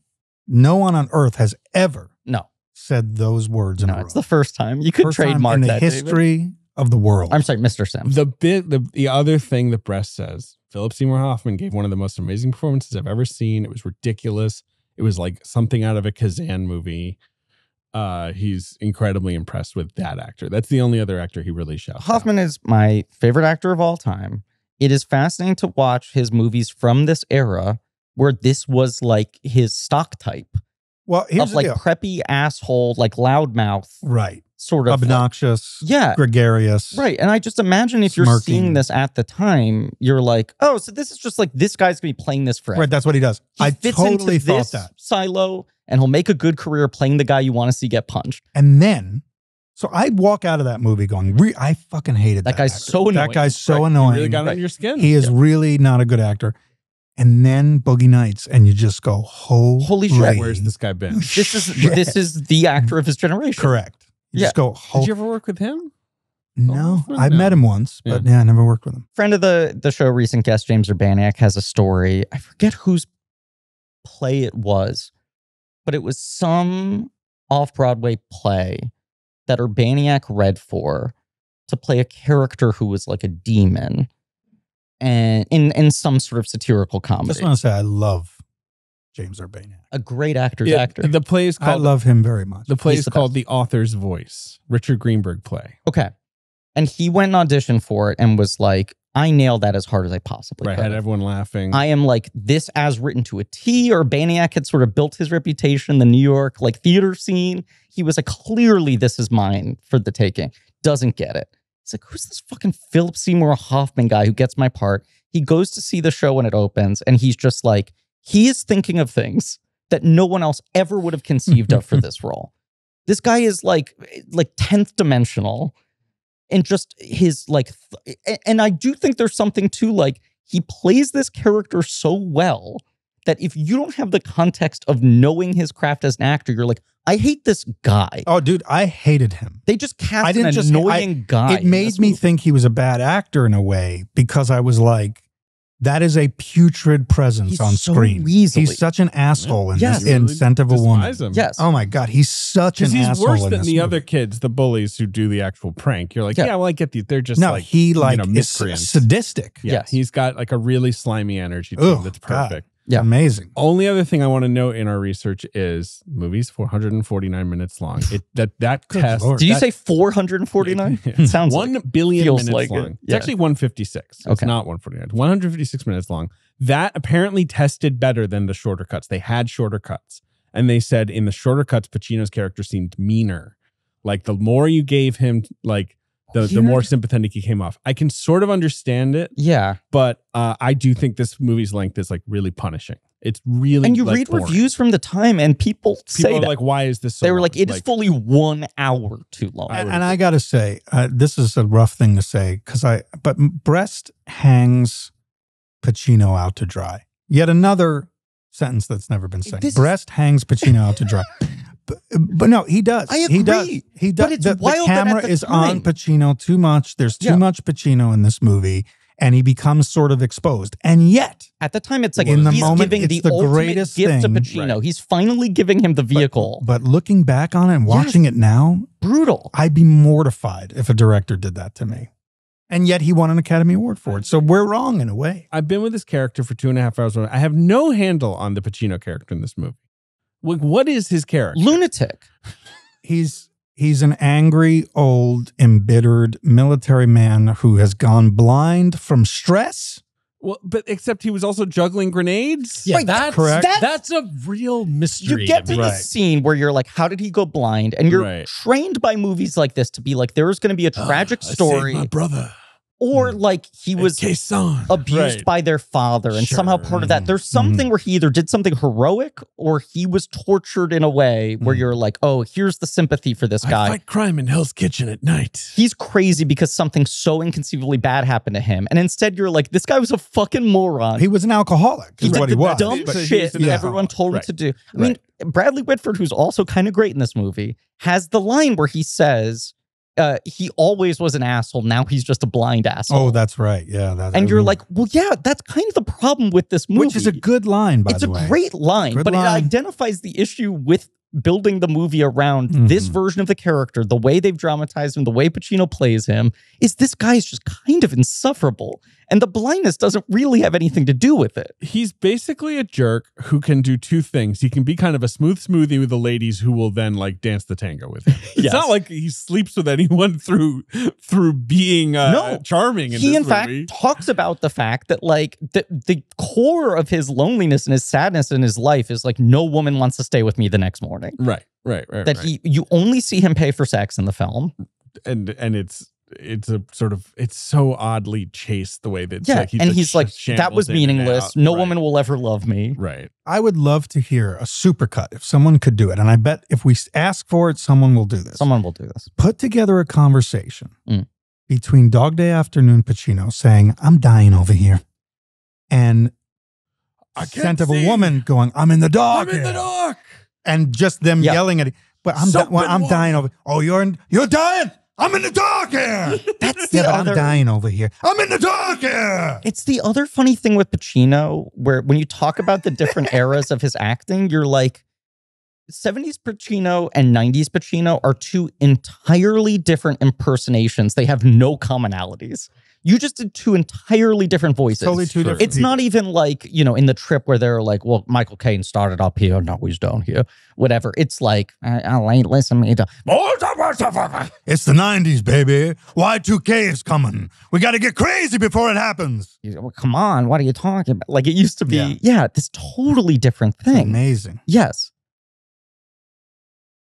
This movie starts with 30 minutes of boarding school antics, basically. You get a pop in of Pacino for this one extended scene at like the 15, 20 minute mark. And then, like, minute 30, the plot really begins in earnest. Or I guess the, you know, the quote unquote heart of the movie. But you start at this like very uh, Dead Poet Society esque, insufferably preppy uh, boarding school. Uh, you have uh, Todd Louiso with a disconcerting amount of hair. It's actually Hmm, yeah, Mm. big mop on disorienting to see. Mhm. Uh, Philip Seymour Todd Hoffman. Louiso. Todd Louiso, Wow. actor's actor. Holy shit. He be, I auditioned for his role in High Fidelity. He's in High Fidelity. He Oh, is. yeah. Yes, yes, yes. Yes. And he is very good in that. Yes. I mean, I'm sure you would have crushed it, but I'm. You know. I had a very He's- bad audition. He's the shy one in High Fidelity, though. I'd He almost is. wonder if you'd be better in the. I had a Black rough role. I had a rough audition. Stephen Frears Mhm. directed that movie Yep. Mhm. And read a newspaper during my audition. Sometimes and you feel like flipped- Stephen Frears for a newspaper making the movie. Yeah, and not flipped, that one. flipped the pages quite crisply Yeah. during my my read. So uh, I, I had, I, I will out him. I don't know if I've ever told this story before. I had, it was a callback bordering on a test for a TV show where Brian Robbins was going to direct the pilot. Oh my. and he uh, spent the entire audition looking at his phone. Hmm. Like he was just texting rapidly, head fully down. And at one point, I went, should, "Like, should I start?" Because there was just thirty seconds of silence as I was waiting for him to finish texting, and he just looked up and nodded at me, like, "Yeah, you should start." And the second I started talking, he looked back down. I feel like I auditioned for him too, and I don't know what movie was that. This was this was a TV show called Blue Mountain State that I think was a Spike Oh. TV original. Yep. Boy, it was I don't about a football Wow. team. Yeah, and I was, uh, of course, auditioning to play the quarterback. Uh, no, a nerdy guy, Yeah, some yeah, yeah. fucking sure dude they some- shove in a locker. Yeah. Alan Richardson Water puts someone in a garbage can. Fuckowitz or whatever his name. Fuckowitz, you dweeb! What are you doing? I'm just trying to get laid, man. Brian Robbins was like, wasn't good enough to make me look up for my phone. wow. That kid had no handle on Fuckowitz. Uh, Todd Louiso's there. Uh, Philip Seymour Hoffman is there. Uh, you got uh, 30 minutes uh, of this Nicholas dynamic- Sadler is the uh, Sure. the bad kid. Right. But like, uh, Chris O'Donnell is just like this weirdly angelic boy with no personality. Mm. He seems to have no other friends. He's poor. Like that's we're just like, person. oh, he's the poor kid. He's Uh, the but, scholarship like, kid. He's got to work hard. Saintly. no personality, and like innocent, you're saying whatsoever. He as- he as just sort of stammers said. apologies to people and is Right. quiet. He's Yes. got this very odd dynamic with the three rich assholes where it feels like they don't fully bully him. Yeah, they're like, ah, you're one of us, right? Scholarship kid. Right. But also, Yeah. neither party seems to actually like the other. No, because they're jerks. right. Rich jerks. Uh, James Rebhorn, third build, love to see it. I mean, this Probably is, the best thing about this movie is just James Rebhorn's billing. he's a great actor, but Yeah. this is the ultimate James Rebhorn part of like he's the guy in the blazer who's like, well, you're not following the rules. Like that's like just he did that the whole '90s. You must have worked with Rebhorn. Uh, no. That's No. crazy. He But was can in I- four billion movies. I just had a realization. what's that? The realization is the movie, maybe unbeknownst to the people who made the movie, is really about evil white people Sure. And how they're not all evil because Chris O'Donnell is a good. Right. Oh yeah, White we're supposed to walk out of there being like, but Like, Chris oh, you O'Donnell, know what? Nothing wrong with that guy. Yeah, The worst of white people, but there are a couple good eggs out there. there are. Yeah. I think that's what this movie is trying to say. I think it's Pacino's evil white. Yeah. Hoffman, Yeah. White Devil, Yeah. and then it's like there's a white there there are white angels, ladies and They're a couple. We have one. It's as if they're saying yes, white people can be bad. I feel like Roger Ebert has. There's some He was review. positive on this movie. I'm struggling. Is there Not for any- this movie. Is there any ethnic person in this film? That's a great question. Like- Is there a single? Pacino is the most Yeah. ethnic of Yeah. person Yeah. that's in this. Think about that. Yeah. There's not a single. like I even feel like like the maids in the hotel. yeah, You know, like the waiters. Like every. It's a very Anglo-Saxon. it is movie. very. Yes. There's some Roger Ebert review, I think, where he was like, I actually would give this movie another star if this character was revealed to be an angel at the end of the film. It is the only way the movie makes sense. Hmm. The character is like so simple, so pure, so unchallenged Hmm. that to not literally make them an angel actually works against the film. And I had that thought watching this where it's like and and starting and ending with like the the fucking boarding school drama doesn't help it. You want this movie almost to be like well, of course, and this was a saint sent down from the Hmm. sky to help Al to, help, Pacino. to stop him The from boy who could this. fly is more believable than this. Because there's nothing nothing to this guy. The other thing that doesn't make sense to me about this movie is that okay, yeah, he he has this boarding school drama. There's a prank. He's a witness. Then Rebhorn's like, look, if you if you snitch on your friends, I'll I'll write you a letter. Let's to just Harvard. make it clear. The stakes of this film, the three rich kids hate that Rebhorn has a nice car. Yeah, he got a nice car from like the trustees or whatever, so they blow it up with paint. But they despise him from the beginning. They're like, isn't he just the fucking worst human being who's ever lived? Look at him in his car. We got to get him back for his car. So they put a giant balloon with a cartoon of him kissing the trustee's ass above a street lamp, above where his car is parked. Uh, and they're setting this up at night when Academy Award nominee June Squibb walks out. Chris O'Donnell happens to be walking by, catches them in the act, is talking to Philip Seymour Hoffman. They both distract June, June Squibb. She doesn't notice the prank, but the next day when it happens, she puts it all together. The prank also is that the balloon is on top of his car. It embarrasses him in front of everybody, and then it's filled with milk. I think it's like white paint. I don't know. I couldn't figure it out. He's embarrassed. It doesn't matter. Moral rod of America. Look, We have to get to the bottom of this. You two are the witnesses. One of you needs to rat on the other one. or n- rat on the kids who did it. That's the weird thing. They're not even ratting on each other. No, They're ratting on the kids who did it. one of you must have seen something. Right. And and so he's trying to bribe him with this. He says to a letter to right. O'Donnell's like, okay, well, let me deal with that. Then Give he me goes, a weekend to think about it. goes in his he's gonna be caretaker to Al Pacino, who's a blind, horny, mean veteran. He doesn't have money to go back to visit his family on Christmas, so he's going to spend Thanksgiving Oh, break. right, yeah, yeah, yeah, sure. Yeah, Looking, he goes to the whiteboard and and of course there's the postings of jobs over Thanksgiving weekend. Right. Horny uncle. Right, and he pulls down the one. Okay. 20 minutes in, goes and interviews Pacino. Pacino reads him for filth. He walks out. That went horribly. You got the job. You got the job. Fine, fine, fine. Then Pacino's like, we're going to New York. We're gonna stay at the fucking plaza or wherever they go. That's like minute 35 40, the movie basically beginning in earnest. Now here's actually what this movie is. But then this character acts like he's king of New York. right. He Even though he's from the know people. south. That's what I just couldn't understand. Because like Mhm. it almost makes sense more if it's a Jack Donaghy style, like some old master of the Mhm. universe who Mhm. used to go to the plaza and the rainbow room and still knows all these old guys and he wants one last hurrah. yeah. But like Pacino's character doesn't even really fit in. No. It's like he was in the army. Like that's that's it. We don't really know anything else about him. No. He's not like a high society guy even. I don't no, know. what is soon Another- revealed. Sorry, sorry. No, no, cr- David. Another please. formulaic mistake Mm. because they had two formulas to choose from, and they, I feel like they chose the wrong one. Is there's the moment in the film where he basically tells Chris O'Donnell, "You are a weak, Mm. nothing He piece of crap. I don't need you. You're not helping me at all. You are no good, and you'll never." And okay, so at that point, you go, "Well, Chris O'Donnell's going to come back and prove to Al Pacino Yes. that he is strong Mhm. and that he no." no. They go the other way. They go, Al Pacino feels bad. Yeah. So now Al Pacino has to come to this kid's rescue Yes. to make up for the mean shit he said to him.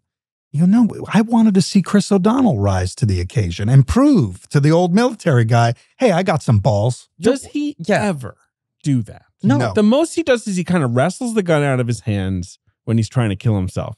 And he's sort of like, "You- you're going to have to shoot me. but the scene is so devoid of any like you Well, know nothing. Pacino is like, my life is terrible. I got nothing to live for. And Chris O'Donnell makes his big stand trying to argue why his life is worth living. Mm, And I'm not saying that Pacino's character should commit suicide, mm. but if I'm in his position, O'Donnell's speech does not sway me. I don't It think O'Donnell presents a single convincing argument. I agree. He's like, well, look, there, uh, there's a sun in the sky. Uh, uh, uh, you can eat meals. Uh, By the way, your impression of Chris O'Donnell in this movie is better than your impression of Al Pacino in this movie. I'm brutal. That's the what- meanest No, no, that's a good Chris O'Donnell. I, I don't know, Yeah, Yeah. I'm telling you. right? Am I spe- wrong? his speech is like, Am I wrong? No, you're not. Did wrong I at just all. hurt Griffin? No, you're It's right. fine. no, no, didn't mean to you're- I, I'll take it as a compliment. Uh, yeah, no, O'Donnell never like you're you're similarly waiting for some reveal of what drives this guy, Yeah, and the most you get is he doesn't really like his stepdad. right. My dad left, and my stepdad we don't get along. Why? Eh, he's just not a great guy. Hmm. Any anything like really dramatic there? No, he's just like kind of a dick. And Pacino early on is like, hey, listen, kid, you should fucking rat out those guys because they won't hesitate to rat you out. He's correct. He Who the gives right a shit? the They're masters of the situation. universe.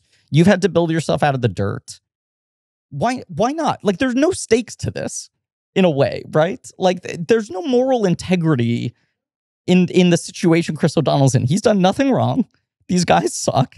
Yeah. At the end of the movie, he doesn't snitch. The only like, stakes job, I, will say, the, there is is Pacino going to do the right thing? Yes.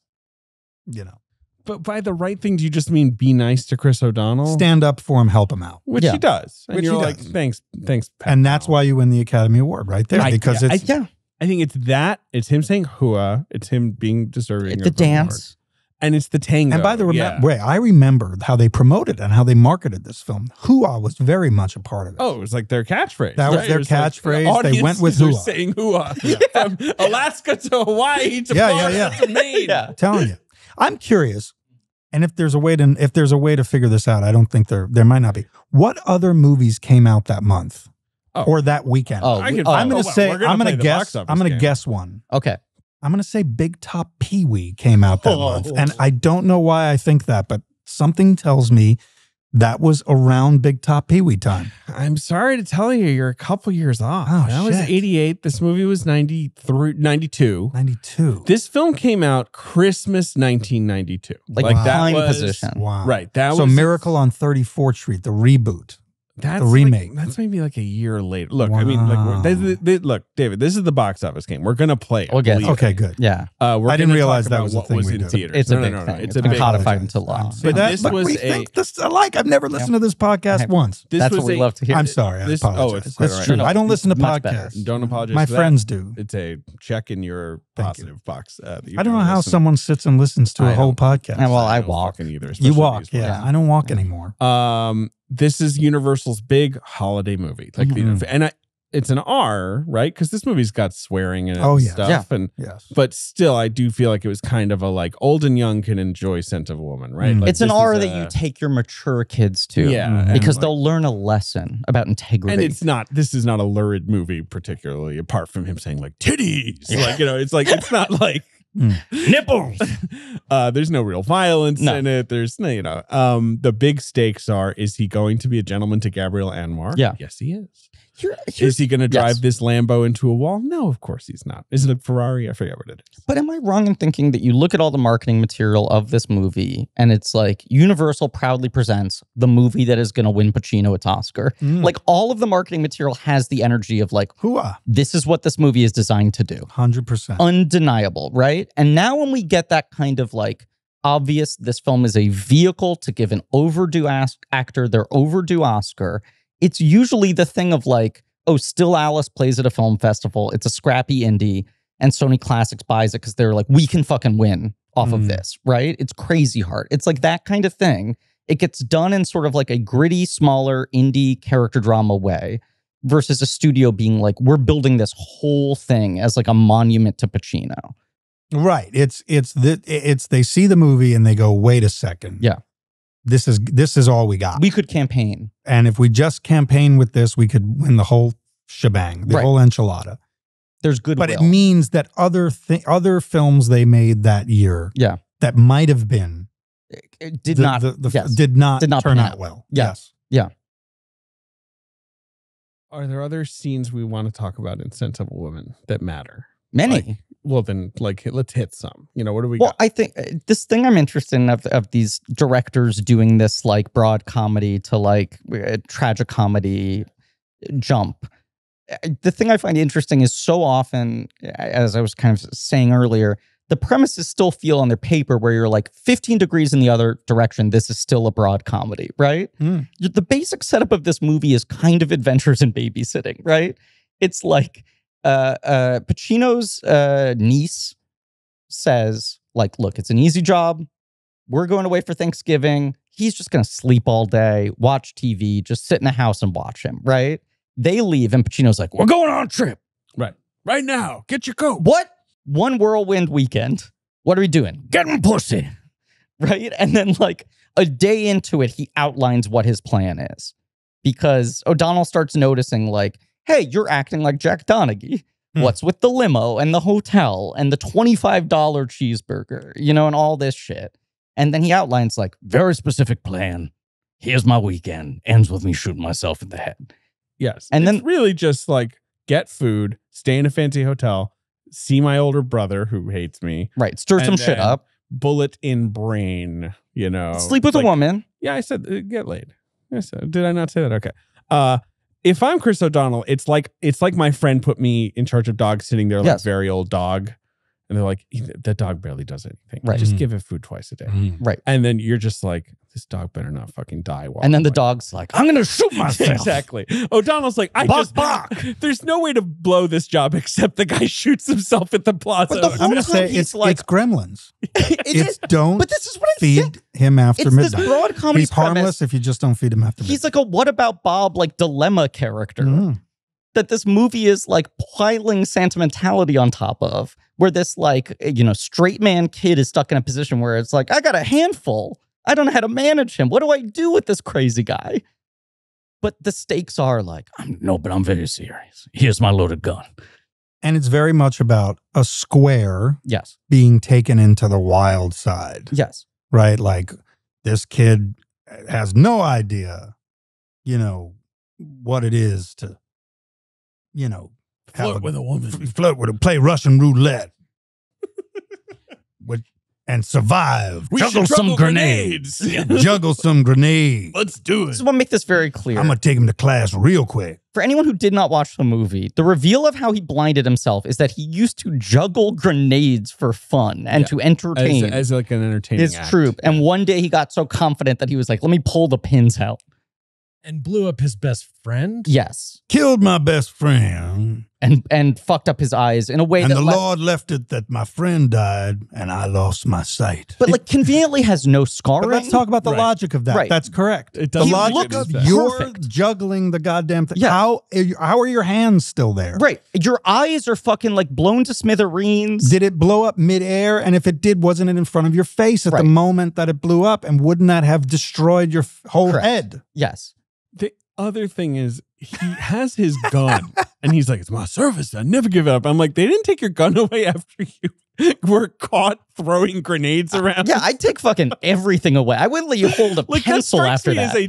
it's not just a sort of like, well, it's time for you to retire. It's like you blew someone up in the American base. Mm. You're supposed to throw those at the enemy. By the way, like doing a bit, Doing a bit. not even like an accident in training. Uh, you know, But before he does all this stuff, they do go to White Plains. They do have the worst Thanksgiving dinner with Bradley Whitford and Uh-huh. various other people that uh, ends with Al Pacino putting Whitford in a chokehold. I actually like when he puts him in the chokehold because you're like, he is, he does actually have this guy dead to rights. Like, that's Mm. the one time you really feel him. it's like, also like, dominating Whitford the saying scene. all these shitty things Right. about him, and he's just taking it. But the thing that makes hit- Pacino is pounce he's on him, To keeps O'Donnell. calling him Chucky. Right. Yeah, right. And you do kind of like that moment Yeah, where you're right. like, okay, this guy's integrity is like, as much as he's been giving this kid chin music, he doesn't like anyone who's a snob, Mhm. who's disrespecting others on, on baseless grounds. Or But whatever. in that moment, let's assume that there were hundreds of kids that call themselves Chuck. Yeah. That were watching that movie thinking, what's wrong with me? what's wrong with me? Chuck's not a bad name. There's a homicidal doll sitting in the front row of the theater going, Am I really that bad? No one wants to be associated with me? So what? I kill a few people. the next big thing is the tango scene, which I Oh, do yeah. think is the most compelling scene in the movie because of Gabrielle Anwar. She's amazing. She's She's, got the so juice. cute. in. She's so cute. She's so charming, And and, she's charmed by him. right. It's the scene and she's shouldn't forgiving. Yeah. It's right. It should be like they're being a pain in the ass. Like this Right. girl's waiting for her date or whatever. And instead you're like, no, she's into it. And I believe that she's kind of just like having fun with it. She's the There's no key to that film. it. I'm telling you, she's the key to the success of that film. Yes. I think she's yeah, pretty high on the billing order. I, she had a decent career. She's in, you know, she's in some good movies. I, mean, I don't know. No, I mean she didn't have the career she yeah, deserved. she maybe didn't. Mhm. Yeah, yeah, yeah. That's. Is that his Oscar clip? The, The tango, tango? scene, or is it him screaming, "I'm in the That's dark"? good- or No, it's it might be dark, but it might be it, it's uh it's this whole place is out of order. That's the scene. Right. there, you know, "Ah, if I was to I'd take a flamethrower to this place. I'm a lawyer uh, now for some reason. Th- that's the thing that's so weird about like the ending of this movie is it feels like they're like let's undo a little injustice for all, right? Yeah. Can we have him play all the hits? right. Yes. No. No. That's He's like doing a medley of Pacino Mhm. shit, you know? and now I again I this is an I'm being going to be openly critical of Pacino in this film. There's scenes like the tango, Mhm. and then later the Ferrari, where Yeah. he's ah, I love this, yeah, and then he communicates depression like a robot running out of batteries. Like there's multiple times in the movie Yes. he's like, I'm starting to feel sad, Chris. Getting real Right. sad. And he's literally, literally stooping, like he just starts to look down Yes. and it's communicating like, oh man, 10 more minutes of this, and this guy's putting a gun to his head. See, but I also thought he was just uh, running low on Jack Daniels. Yes. Mm. I wasn't sure if it was depression or it's just he, he he also- hadn't he like had finished one bottle and needed another. Am I wrong that he calls it John Daniels at he, some point? He does. He does. He likes he proper knows names. him like that. He's not going to call him Jack or Chuck. Griff, Johnny's a he great knows guy. him like that. He knows him like that. Mm. My dear friend John. Like there's four different times in this movie where he's like, gonna kill myself. Gonna, and he's like, Donald's like, ah, let's go rent a car. Okay. ah, I'm like that is the vibe of this weekend. Yes. Is that he's not even really enjoying it. No. We don't Hmm. see him having sex with the escort. He's perfectly polite about it, but like, did he have a good No, time? and it comes Like- after the Anwar moment where it's sort of like he's like, Watch, watch and learn, son. Like you don't understand women. right? Goes to this woman, "Well, what are you doing sitting alone? My boyfriend, he's running late. Well, let me dance with you. Does this whole tango, right? And you're like, oh, wow, he's going to romance this fucking beautiful young woman, or he's going to like introduce her to Chris O'Donnell and they're going to fall in love. It's to the movie's credit that they're like, no, no, no. Shitty Like, boyfriend shows up moment. and he's Yeah. like, oh, thank you for dancing with my girlfriend. And then Pacino just feels like sad and dejected. And then you basically just see like yada, yada, yada over. And then he like called some escort. They slept together and The she limo left. And then he was really sad the next It morning. beg it begs the question because in a way it's the reiteration of blindness is awful. Yeah. yeah, right? This, this Like, movie you- is not you are- very good it's a prison. You can have the best time. You're like going to drive a Lamborghini down the street. You can dance with a young woman, tango. Yeah. But ultimately, blindness fucking sucks. You're and monster. like you're reminded of your blindness at all Yeah. times. Now, what if they took the blindness out of Scent of a Woman? It wouldn't be called Scent of a Woman. No. Because the whole idea that's that's also, by I the can way, smell him. kind of yeah. It's an what insane fu- title. It's an insane Again, title. It's not describing title. the Yeah. plot to my movies. But like, let's oh, say we take the can blindness- Smell real good. Yeah. Right. It's like taking the divinity Yes. out of the Bible. Yeah. Let's take the blindness. It Mhm. becomes an allegory. It's a much better movie Yes. about a guy who has to live down his demons. Just a guy with like If who PTSD. blew up his fucking up guy. friend. Yes. Exactly. Yes. Right. He blew up his friend. That's enough. Right. It's enough. You can make a whole movie. Oh, he's this fucking, he's a bad guy, man. Yeah. He blew up his fucking friend. He didn't felt bad. He, you know, he was like, Jesus Christ, this is his redemption story. The blindness ruins this movie. But I would argue makes is also so cartoonish. the It's why he wins additional the act- Oscar. Of bit. I don't Oh, think met he wins blind the Oscar for the version you're describing, Correct. which is undeniably a better film. If not a good Mhm. film or a great film, Yeah. a better film that probably would age better. But the extra 10% of like, God, Pacino, you know, he just like the way he holds the bottle. Right. You know, there's all that shit that you just like you watch it now and you can just see people studying this in 1992 in every acting class. Mhm. Right. Yeah, you can tell he thought about every choice he makes physically. And so that's exciting, I guess, to see. Now, remake of Scent of a Woman, they have to cast a blind man. The That's blind actor. But no blind person, you know, would want this. No. I agree Yeah. because they're going, "Hey, I have a good life. I've I've Yeah. of course, there's I, like I work on staying positive. Yes. And, and and you know, and this movie is about a guy who he goes blind late in life. It's Mhm. sudden, like you know, it's not Mhm. like the circumstance all blind people face or Mhm. whatever. Like you could sympathize that, but you're right. It's it just is kind of I'm a monster. But it's also why the Whitford line it like hits so hard, Yeah. where you're like, you're well, already an asshole. right, the, the blindness is kind of just like the whipped cream on top of your thing. pre-social media, Mhm. Yeah. people believed that there's no way that a blind person could be happy. Right. Post social media, people are like, oh, you know what? Uh, a couple of my friends are on. Uh, All different are people blind live all different types of and lives. Right. That's right. So this movie doesn't work. Like, no, this just happens to be a very upset guy about a bunch of other shit, Right. and on top of that, he's blind. yes. This Yeah. movie is disgusting. This movie sucks. it's it's a mo- it's a disability movie in Yeah. which we're meant to go to to feel awful yes. for the person who has the disability. It's not one of those where you go he just he succeeded despite his disability. It's one where you walk out going, God damn that poor son of a bitch. Yeah. You know, I this movie is it's wrong. I agree. Now, this is what's fascinating.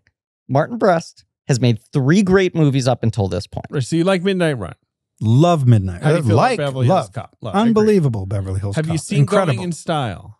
What's that? Going in Style It's so good. Highly recommend. is an old man robbery movie starring George Burns, Art Carney, Okay. and Lee Strasberg. I know exactly what this movie is. I did not see It- it. I- rules. You can watch it today. Mhm. It's Mhm. Yeah. easy, easy to rent or whatever. It's great Queens movie. Great, like you know. I'm from kinda- Queens. I know you There are. you go. Yeah. There you go. Where are you from in Queens?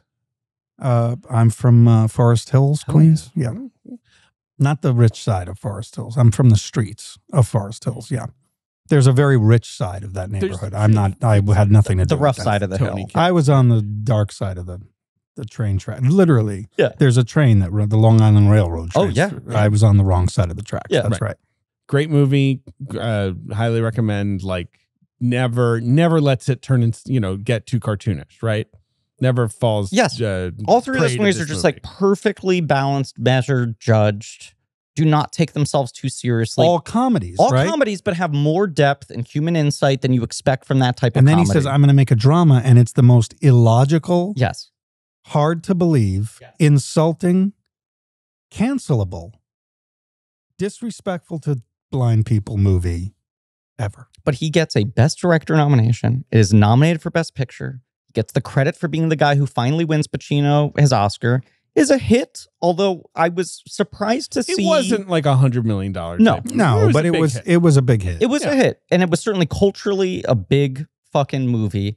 And much like Pacino, this is a case of like we've talked about so many times on this podcast, people who like get a little broken by a failure, a bomb, a folly that like they can't handle the response to. This is the weird example of a guy kind of being broken by a success where he was rewarded for the wrong things in a way that I think just like then recalibrates him to a certain degree. Mhm. You know? Like Mhm. if this movie hadn't worked, he might go back to comedy. he's like, you know what? I tried to do my thing. I now know what my zone is. right And Yeah. instead because he's like, he is batshit insane. yeah, in uh in the uh, what is it the kid the the the the the, the Keanu Reeves the the the the the, the Keanu Reeves oh, uh, devil's advocate. Devil's Advocate. Yeah. he Yes. is bat shit Yes. insane. Because it does the I same remember thing watching Pacino. that He's movie. like, you want more out I, of I remember watching that movie as a huge fan of Al Pacino, sure. Yeah. which I've always really been. Yeah. and thinking, fuck, Like he's lost he's it. fucking lost his Right. fucking mind. Yeah. he he has he. Why didn't someone stop him? And I've seen a lot of performances of a lot of actors where Yeah. you go, I wish someone had just stopped them Yeah. In the moment said, hey, you know what? Eh, take it down a notch for this next one. You just know, don't try- use those takes. you just don't use those takes, or you, or if that's all, you got it in the moment. Say it's a bit much. I know you're Al Pacino, but it's a bit much. But that's the example of like, yeah, you let Pacino do a take like that just to see if anything interesting comes out of him, to get it out of your system. And at a certain point, it feels like everyone was always either using the single most insane take he did of every piece, or he only ever was delivering it that Well, way. and or- it's proof positive. Yeah. That even the world's greatest actor, or one of the world's greatest actors, can still suck, can still totally suck, because acting has no parameters. It's not. Uh, uh, yes, there's a craft to it, but it's it's a matter of degrees, be, of, of of of subjective degrees between the worst actor in a porn movie, let's Mhm. say, and Robert De Niro and Marlon Brando. It's a matter of degrees, and they're incalculable degrees, and that is why I stand firmly in my position that acting is not an art form. It's not an art form What do you Well, think? because in every other is? art form, Yeah. you can judge things based on certain parameters. Even uh, in abstract art, you can do it in terms of the the layout and the and the the color schemes and what have you. Acting is not an art form. I Yeah. don't know what it is. It's a form of expression. hmm It's like birds shrieking in the jungle, right? It it's it's like, hey, I'm here. Listen Yeah. to me. Yeah. I just need to hear myself Yeah. because to know I'm alive. I'm realizing I don't, obviously you acted as a young man. Like, how did you get even into acting? Like, was there a way? It Was life with in? Mike Like, how does one become an story- actor? This you know? story's been Oh told, God. but I'll Oh. tell it again. No, you don't have to. No, I I'm happy just- to. Very thrilled to, actually. Oh, wow. no, because you Big know what? I, I did face. a, uh, I did a podcast. Rec- Dude, I've been doing so many of these. I'm so. This is my. This is my second to last one. I just want to say I've been on this press tour for this movie, Lousy Carter. that Yes. I'm- and and Will be good streaming, Lord, rentable now It's by the time streaming. this comes out. yeah, it's already Yeah. Okay. streaming. Yeah, Uh, I'm done. I, I don't like hearing that. I hate myself And so you much, did- also and it's made did- me hate myself more, which I You didn't think was possible. had to go through the whole award season gauntlet. Well, that whole thing, I'm tired. Yeah. I didn't like this to begin with. I don't like myself to begin with. We're big All right. fans. Can you, But yeah, I recently told this you're an story- A-plus guy. Yeah. Just, Oh, just that's- FYI. We're I- giving you a couple A plus. I, yeah, but people don't deserve me. Um, Uh, that That we is a Hey, really good point. there I it like is. that there it is. You know what? Um, I'm hiding the light back under a bushel. You guys can't see what's under Society is at fault here. That's right. Um, let me let me. I told this story and they cut it, Mm. so I'm going to tell it again. Great. Because and hopefully you guys don't cut. This is a brief story. I'll try to make it as brief as possible. Ben told Major No- Cut to stand down and stand strong. No desire to be an actor whatsoever. 13 years old, going to school in Queens, Sure. junior high school, Which seventh school? seventh grade, Halsey Junior High School. Hell yeah. which the Ramones and Simon and Garfunkel Yeah. went to. And no desire to be an actor whatsoever, no thought of it, Mhm. of being anything at all. Do you like movies or like? I am, my dad and mom have been divorced since I was two. uh-huh. My dad does not know what to do with me on, on weekend, with his weekend custody, other than take me to every movie, to, to two movies a weekend. So the whole relationship's built around that. Correct. And Yeah. he won't take me to any R rated movies. So Yeah. I'm seeing every PG 13 comedy when I'm Mhm. seven years old, eight years old, nine years old. I'm seeing all of them and maybe an R rated comedy here and there as I'm getting older. Okay. I'm seeing mostly comedies with This my is like late 80s. This is mid, no, mid 80s. Okay. Early 80s to mid 80s. The whole 80s. Sure. Is, and early 90s is just me and my dad, Saturday, Sunday, a movie a day okay. right? That's what it is. I'm learning so much. I have no idea what I'm learning. My grandmother is a super funny, talented lady. Literally doesn't, has never explored that, but is quite a character. She's teaching me comedy. My whole family's funny. Who gives a shit? It doesn't matter to me. I don't know what I want to do with my life. I'm 13. Who gives a shit? And I decide to take part in the school play which was a production of Bye Bye Birdie. The director of the school play happens to be my English teacher Okay. at junior high school. It's early 90s. They're starting to air commercials where instead of actors telling, you know, selling you a product, they're going out on the street and interviewing people. What do you think of this product? And using real people's interviews as their commercial. And this new thing happens of real people are more interesting than actors. Yeah. So they go, hey, with kid actors specifically, we don't want a kid that is too trained. Doesn't act like a kid in a movie, acts like a real kid. So they cast like private parts, young Howard Stern Sure. on an open call. Yeah. Open calls. Yeah. Which is anybody can come in off the street. Yeah. You don't have to have an agent. You just like put flyers up at local schools. At local schools. Right. Very rare thing that they were doing, Right. but they were doing it. because we And- specifically want kids who just sound like, look like, seem like a kid off the street. Correct. Yeah. They come to my teacher and they go, Hey, there's this Broadway play. big part in Broadway play, Judd Hirsch's son. We're looking for someone who can play Judd Hirsch's son. My teacher comes to me, says, You're a funny kid. You look like Judd Hirsch. I know who Judd Hirsch is. Yeah. I love Dear John at the moment. You have that leg up on people where you're like, I understand who I'm playing. oh, playing yeah, against. absolutely.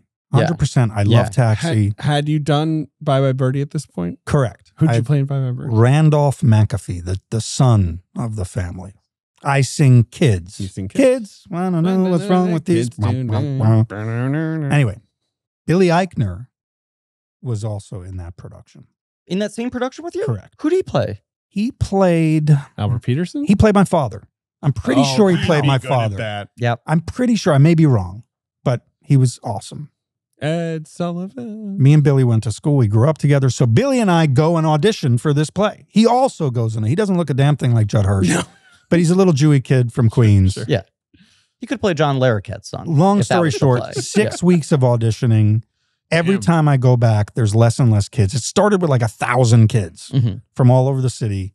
For you know it, it's down to me and Jason Woliner, Wow. the director, Yes. Jason Of Woliner, Yes. Yeah, yeah, many comedy. who was a professional acting Yeah, kid yeah. and was in a Saturday morning cartoon, a commercial that would air, Yeah. A commercial for a toy that would air during Saturday morning cartoons. Which So- toy? I don't remember, but so much so that I walked in, saw him at my audition, and became petrified. you were like, Right. that kid's Like, a big that's deal. the This kid's got fucking- micro machine. He's got that's the kid. he has the whole collection. Correct. And he's telling me to collect them all. Anyway, I get You the get the friggin' part, Right. and Yeah. I'm on. What's the br- play? It's called Conversations with My Father. Mhm. It ran for a fucking year. I did six months. All of a sudden, I am an actor Yeah. Herb Gardner. on Broadway with a large part in a Broadway show. The show next door is a show called Falsettos. Mhm. The guy who wrote and directed that show is about to direct his second movie, big first studio movie called Life with Mikey. Yeah. He sees me in that show. He goes, Hey, I'm going to put you in Life with Mikey. Before you know it, I'm making a studio And That's movie. movie basically about child actors. The producer of that Right. movie is going to produce a movie called Addams Family Values. Before you know it, It's I'm on all- set. Yeah. It's crazy. Yeah. The writer of Life with Mikey wrote my first TV series. I do that TV series. The director of that TV series, of the pilot of that TV series, directs the Santa Claus, his first movie. Wild. Before you know it, within three years, Yeah. I've made three studio films, a Broadway play, and a TV series. Yeah. And I hadn't wanted to be an actor. Right. I had no clue. It hadn't happened by accident, but there was no intentionality to it. Insane. yeah. And my family and I are like, this is insane. But we know a- it's insane. A thing you're kind of like learning on the job. I knew, Yeah. I knew I was good enough and I knew I knew a lot about movies. Yeah. I knew that like I remember on the Santa Claus thinking if I could just do like a Bill Murray thing Yeah. in moments here or whatever, Yeah. you know, like n- grabbing from you that. understood the language of it. I did. Yeah. And it wasn't a problem. And thank God, man, I'd be I'd be dead. Do you know what? I would be dead if I wasn't if that hadn't happened. No doubt about it, I'd be dead. No doubt. You just don't know what like. no, I I, I, I was not a avenue you would've kid. I was yourself. first Yeah, of all, my fa- family did not have money. Yeah. I at all. I was not a smart kid. I didn't do great in school. I was Mhm. a lazy student. Lousy Uh, harder. later on, I fell in love with weed and alcohol, and I would have totally gone That would farther. have been everything. Right. Correct. I would- I would have If done- I you would had become gone to that cokehead. without if the I was career I at either would have stake. Yeah. become a lonely school bus driver in Queens. Well, that sounds sort of that was an inspiration Right. to Good, right. children, Tuesday nights on CBS, actually. or Hey, a com- crummy, or a doing? total crackhead, Yeah. or both. dead crackhead. Could be, Okay, okay, could be well. well, believe in yourself. Right, Yeah. you could be a school bus driver. Yeah, crackhead. like, You could have died on the school bus. crackhead driver. school bus driver. Yeah. Yeah. yeah. Absolutely. Which would be good, like There's no Sunday doubt nights in my mind FX. that would have happened. Yeah. How would I have afforded college? How Yeah. would I have possibly? I would have given up. Well, there's one way you could have afforded college. Hmm. If you had agreed to, let's say, look after a blind lunatic for a weekend. Convinced him, kept him from committing suicide. Yes. And then he, you know, does you a favor by Representing serving as your sort of pro bono attorney at a disciplinary hearing way you're front of the repaid with I'm a. the sole witness to a prank yep. that His defense pisses is off. literally like, "Stop it! This sucks." And is- they're like, Yeah. "Hey, you know what? It does suck." It's just the last three minutes of this movie when you get back down to it. First of all, thank you so much for sharing that. I love the Yes, way we wonderful walk. story. We work about our I way back around. point out, That was Woliner beautiful. Replaced Thank you. you on Broadway. I just looked up. Woliner did replace and Wow. Jim Belushi replaced Judd Hirsch. Hirsch. Yes, it became the Jim Which Belushi, Jason It's Woliner. no offense, but it's a bit of a downgrade. It's a hell of a it's a hell of a leap. Yeah. It's just crazy. Like, oh, let me buy tickets to that. Like, oh, well, you're getting Belushi tickets. Uh, and it was an overtly Jewish week. play. It was an Right, overtly right, Jewish yeah. play. Right. And Regardless. and Jim Belushi, and who's Albanian, yes. and uh, I remember seeing it with Jim Belushi. Yeah. And going, "What the hell's going on here? yeah. Also, What uh, happened?" Jason Biggs was in it. I'm seeing Jason here. Biggs played my older brother. Yeah, That's Wow. crazy. Mhm. Uh, young Jason Biggs. Yeah. Little Biggs. And Hirsch won the Tony. he did Just- for I'm best just- actor. I That's correct. googled. Yeah, And then you worked Googled with- And Tony Hirsch. Shalhoub played. Yes, Tony. Shalhoub. I played him as a child. Yes, Ah. Wild. yeah, it's a great Uh, play. Great play. Yeah. You worked with Hirsch so much again later. Is he just the best? You know, when I first worked with him, he was doing Dear John, and he was really kind of bold and brash. And I don't want to say he wasn't the best. He was the best, but he also had an, an ego thing happening. Later on, the greatest. Yeah. Hilarious, wacky, and super strong. Uh, you know, physically Physical. and mentally, like Yeah. crazy. That guy's going to live well past 100. It, it is. He's it- 89 now. Watching interviews And with him in, now. Like the It's- yeah. Fabelmans, There's looks- no stopping him. But when he was on like the Fabelmans press tour when he was doing his like Oscar season gauntlet, you're like, oh, he's playing old in the Fabelmans. Right. He's Right. acting to seem more feeble and out of it. Mhm. And like this guy's like at full fighting weight. He is an ox. yeah. Yeah, he's a big bull. He's a something big- else, yeah, man. I yeah. mean, that they don't make him like that anymore. He's Well, a tough, should. tough guy. we should clone him. We should have an army of Hirsches. We got to restart the Yiddish theater. That's what we got to Yeah, do. sure. Yeah. Okay. I was just going to say when this movie, the last 30 minutes boils down to like this insane ersatz hearing. I mean, it's awful. What- No I, I just keep does going this. like first of all no school does nothing none of this as ben has said before this isn't real It doesn't what is make this any this sense. isn't a thing It would make more sense if then June Squibb got up and was like, "We don't really know why we're here. This is a very strange proceeding, and we, the disciplinary board, whoever we are, but reject it." speaking of this movie being like 10 degrees off from like an absurdist comedy you're like this is like the end of billy madison where they're all admitting like this whole like Yes. setup is insane But it has like the procedure of like the end of Harry Potter, where Dumbledore is like, "Harry Potter, you eleven year old, for killing Voldemort." Uh, 50 points and Yeah. everyone's like yay and you're like what is the, the you know the high low tone of it yes It's the same thing here. He's basically everyone's just trying to humiliate him. Pacino calls it out, and then June Squibb is like, "Our verdict is he's bad, he's bad, he's fine. See you all later." also the right, stakes of this are a prank right. where a rich old man was embarrassed like nothing really happened And we don't, and there's no emotional, like, b- is there ever a moment in this film where Pacino goes, you know why I want to kill myself? Because I hate myself. I'm a terrible person. I did terrible things and I'm bad. I'm the problem. really. Not really. not No. really Not Kind really. of is Instead, dancing around it. He's yeah. dancing around it too much. yes Had there been that moment, Yeah.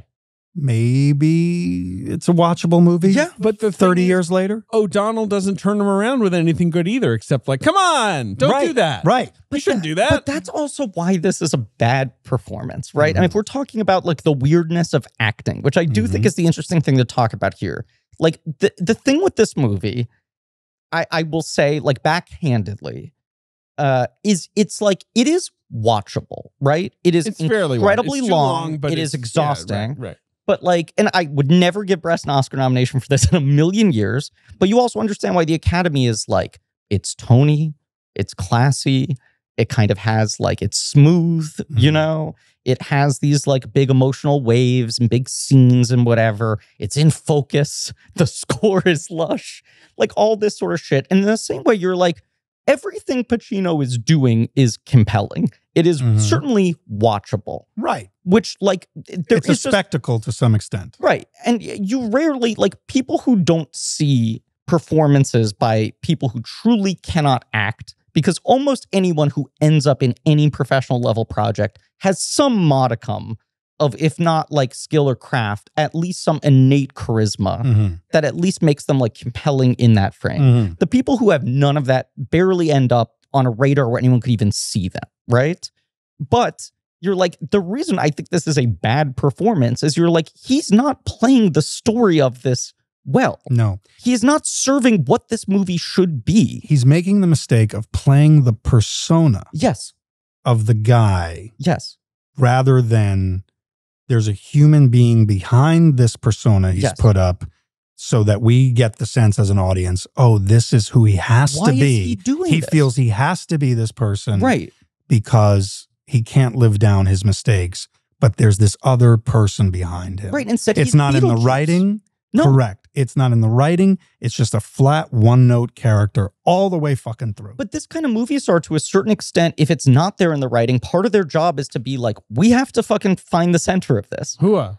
Right. We need to do a couple drafts. Instead, he was like, Hooah. here's here's the spine. I say hooah. so who's at fault is it Brest pacino bo goldman is that his name I, Bill Goldman's the writer. I would say Brest is most at fault. I here. think Brest He's the one who most at can rein fault. him Yes. in. I agree. But then Brest is like, "What are you talking about? I made a But- hit movie but- that won an Oscar." Right. Well, Like, here's the other So thing. then what you learn no lessons Right. from that? Here's what like, I was happens. rewarded. But Yeah. here's what happens on Yeah. movies, right? Here's what happens. You can be Martin Brest. You can make three great movies in a row. You can have worked with De Niro and whatever, got a great performance out of De Niro and Grodin.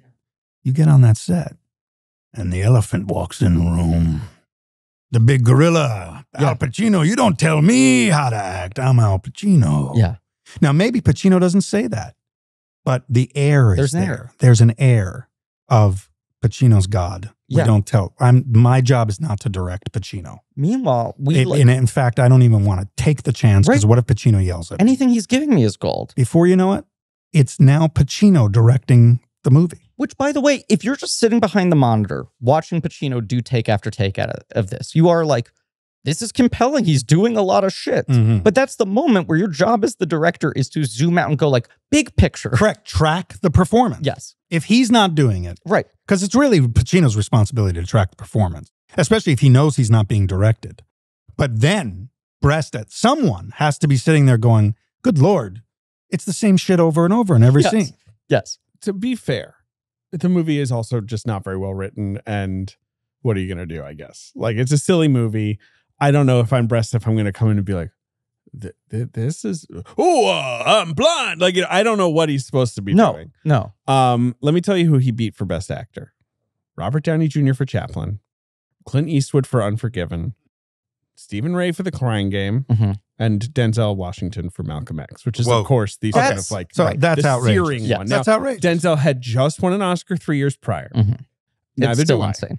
Uh, and and Pacino, of course, had never won an Oscar, and that is why I think this is the totemic like.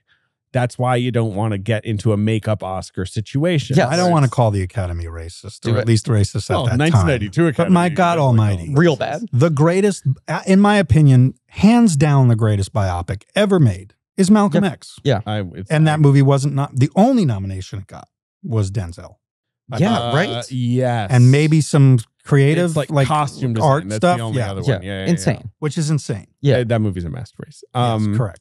So that's it's just a crazy situation. You look at that. You're like, he's the worst of those five actors. Yeah. Not only that, I mean, I think Downey Jr. and Chaplin is the the second worst, and that's a really interesting performance. That movie's I kind think of that like all movie's over the bad. place. I think he's he's great. phenomenal in it. Eastwood is incredible in Yeah. Unforgiven. Like, Yes. I mean, it's his best screen acting ever, probably. Stephen Rea eh, getting the Crying Game nom, like, sure, you'll only Right. get a nom there, but that's that guy's a legend. And then fucking Malcolm X, like, yeah. Yeah. and It's wild. instead it's Pacino because it has to be. It's not just that he gave a big performance. They're just like, we cannot skip out on this. It was. Pacino's time. Cha- Chaplin Downey Jr. is, I mean, uh, echoing what you said a couple minutes ago. Mm. He's like, at that time, I worked so hard. I thought I deserved that Oscar. I was Mhm. really crushed. I didn't win it. If I had won it, I would be dead. Right. He's like, if I had gotten the encouragement at that moment in my career of like, by the way, kid, you're better than Clint Eastwood, Al And- Pacino, and, Denzel, Washington. I would have yeah. been dead within five years. There would have been no limit to my self destruction. Right, right. Yeah. No, I know. I know an alcoholic uh, writer, comedy writer, who's a recovering alcoholic. He was won several Emmys, and if you go to his house, they're nowhere in sight. Yeah. You say, "Where are your Emmys?" And he says, "Oh, if I if I even look Right. at I it, cannot if be I reminded. know if I'm in the same room as them, I Yeah. will I will become a full blown alcoholic." Again. Yeah. Yeah. Yeah. Box office game. We're going to do the weekend it went wide, Griffin, rather than because Christmas Okay. we've already done that weekend, and it does you know we'll do. So this is January eighth, nineteen ninety three. We're going to guess the top five movies of this weekend, David. Scent of Woman's at number three. Uh, with eight million dollars. It's going to make it all the way to sixty plus. What's number one, Griffin? It is it's a Best Picture nominee this year. Big hit drama, good movie, better movie than this. Well, Is it you Unfor- just gave it. A, it's Unforgiven. It's not. Unforgiven. No, because Best Picture Unforgiven's nominee. like a very slow burn. Unforgiven had come out. Unforgiven one. It did win It it did. one, but it did, it did. But this is a nominee. This is just this is up against. Okay. Unforgiven. Yeah, yeah. Stat it had for a while that I think it maybe still holds is that it was the slowest it has ever taken any movie to get to $100 million. It played for like a full year. Yeah, it had come out in August. I assume after it wins Best Picture, it gets a bit of a sort of bump and And Yeah. and we know. Malcolm X wasn't nominated, so No. it's not that. no, and it's not Crying Game. no, it's not the Crying Game. And Uh, it's these not. movies are floating around in the sort of twenties, right. But it's a Best Picture nominee in 1992. Big hit movie, highly rewatchable and quotable. it's not The Fugitive? Is it big? no. Nope, nope. What genre? Legal. Oh, Drama. It's I know not what Few this Good Men? is. It is a is. Few Good Men. That's the same year as this. Yes. So Wow. him, Nicholson doing Few Good Men Mm, over Scent of a Woman is really Well, but- interesting when you consider them being at the same time. correct, but that's a supporting performance. Right. Yeah. and I believe Nicholson was nominated. He was Best nominated. He It was, Supporting. lost but that's Gene like- Hackman for Unforgiven. In Mhm. in, in history, in Mhm. Longview history, that was the smarter decision for him. Oh, course. 100 to do five days on Well, Few also Good in Men. Sense And, of Woman, he's like, I mean, in Few Good Men, right? Yeah. I'll uncork it for two great scenes. That's like you the know, right amount. Be, right. he understands be- the function of that part, which is get that big for 5 Mhm. minutes. Like, imagine Yeah. if he yelled, "You can't handle the truth" at everyone for two hours. Anyway, number two Right. at the box office, gigantic animated film, but you know, biggest movie Aladdin. Here. Aladdin. Aladdin. Aladdin. Okay. Aladdin. So, Aladdin. Few Good Men, Aladdin, Scent of a Woman.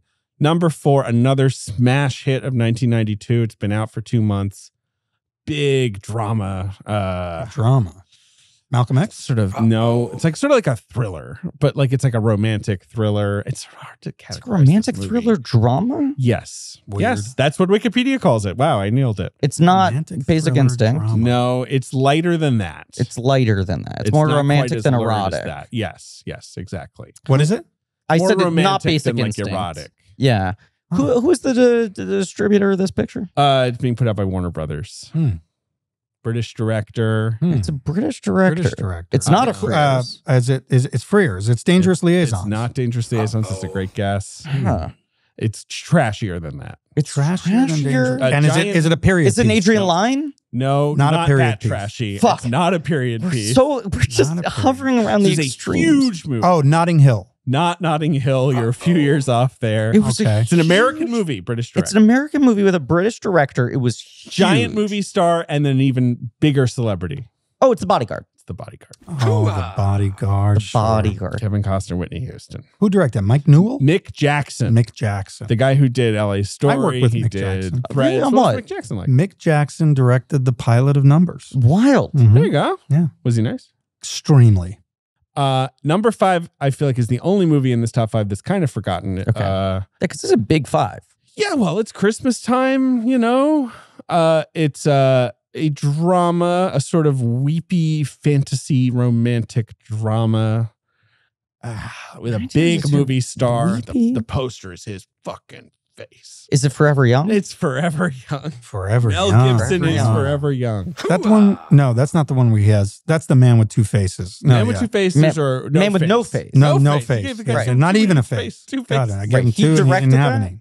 He directed that. Forever Forever, Young Young is is- the one where he like wakes up from like a time capsule. Yeah, like Mm. cryonic freezing, and then he starts aging really quickly. Mm. But It's, it's written by J.J. JJ, Abrams' right. first script. Really? Yes. Wow.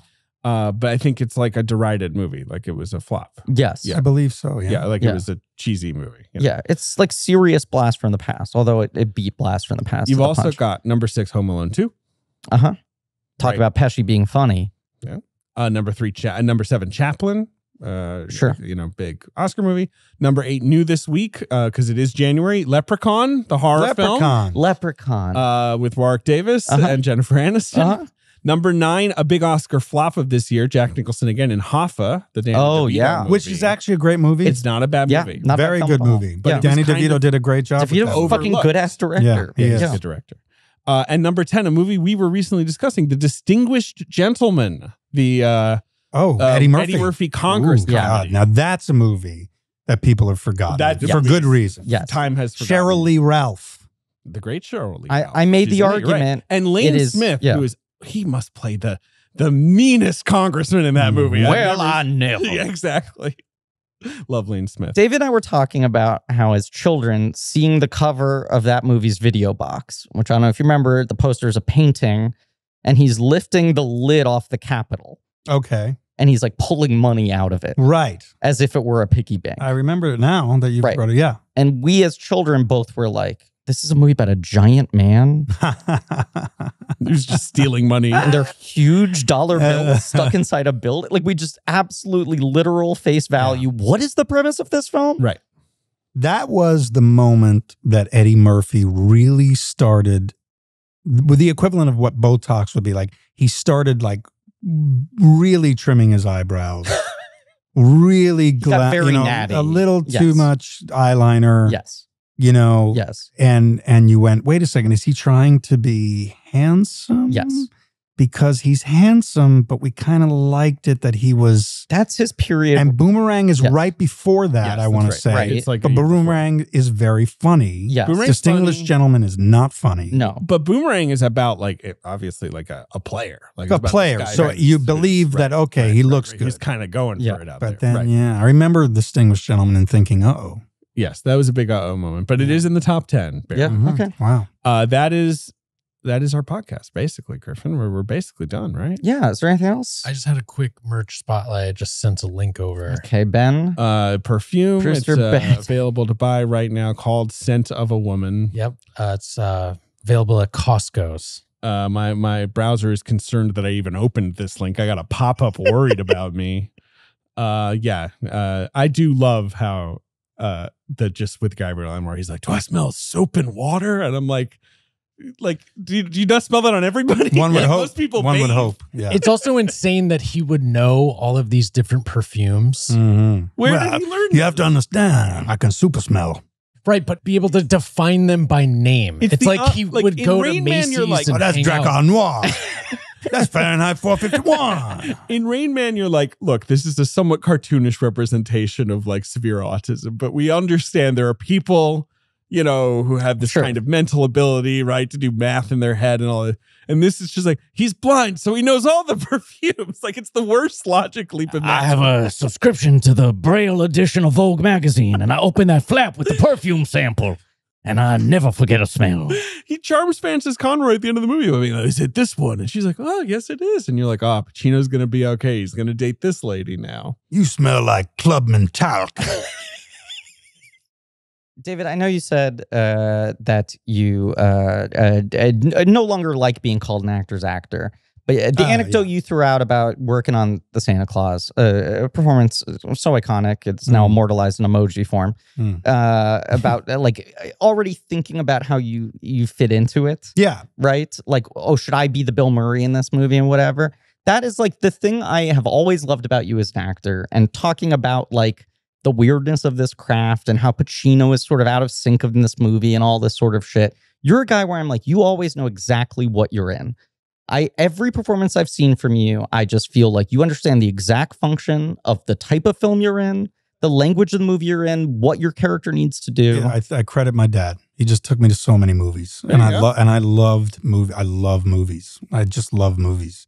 He didn't hesitate to take me to really weepy dramas. Yeah. you know, I just learned genres. Like it wasn't, you know, That's great. yeah. I'm lucky. I'm really lucky in that regard. You know, my dad, my dad literally didn't know what else to do with me. Yeah. and it worked out. Yeah. in God my re- bless. yeah. Good story. My dad was just a simple guy, and he was like, "Let movies teach him how to live." Let, you know, let that be his liberal education. Just movies. Midnight Run. Midnight Don't Run. ask me for advice. Yeah. Never go on a midnight run. That's right, These things go down. Uh, thank you so much for doing this. dude. You're the man. You're the Thank man. you, Sims. Why am I? Why are we? Why don't we call him? Mr. Simms. Oh, we. I know no one even brought up that my I said it a couple 50 times. Ben brought it up too. Ben said we should only call you Mr. Simms. Also, two But it's- Davids on the it's, same it's, it's a two M Simms, which I'm often hit with the two M's. I only have one M. Just one M for me. uh, Lousy Carter, Yeah. Lousy Carter out on VOD. Martin Any- Starr, Olivia Thirlby. Correct. Oh, I love them. It's not a terrible movie. Hey, fuck, I'm in. you know, I mean, a pitch like that. It's really not bad. Uh, Yeah. do you have anything else coming up? No. You want to plug? No. No. Not literally. No. Uh, thank you for being here, Dave. Thank you for having me.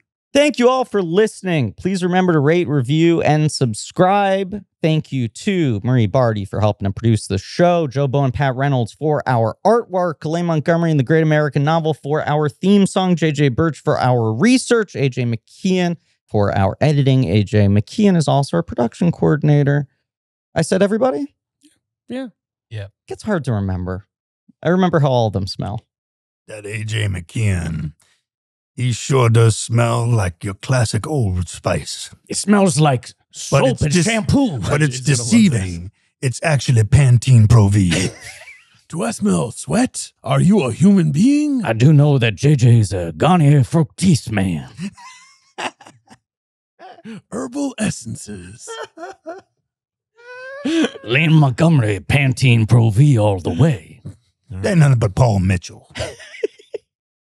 Uh, you go to blankcheckpod.com for links to some real nerdy shit, including our Patreon, Blank Check special features, where we're finally onto tabletop games. Are we still doing Toidles? I don't remember. Doesn't Let's take a look. I think it matters. I actually, David, I do think it matters. Okay. Uh, we are, of course, uh, still doing Turtles. Teenage Mutant Ninja Turtles. Out of the Shadows next. Out of the Shadows, Yes. a film we enjoyed. Yes. Yeah. Uh, tune in next week for Meet Joe Black. Thankfully, Martin Brest is going to uh, Add a- swerve away from this movie another with a 25 minutes. longer, weirder, weepier Yeah, less star funny. vehicle. Yeah. what a weird career. Uh, and as always, Yeah. Oh, wow. Very good. Thank you.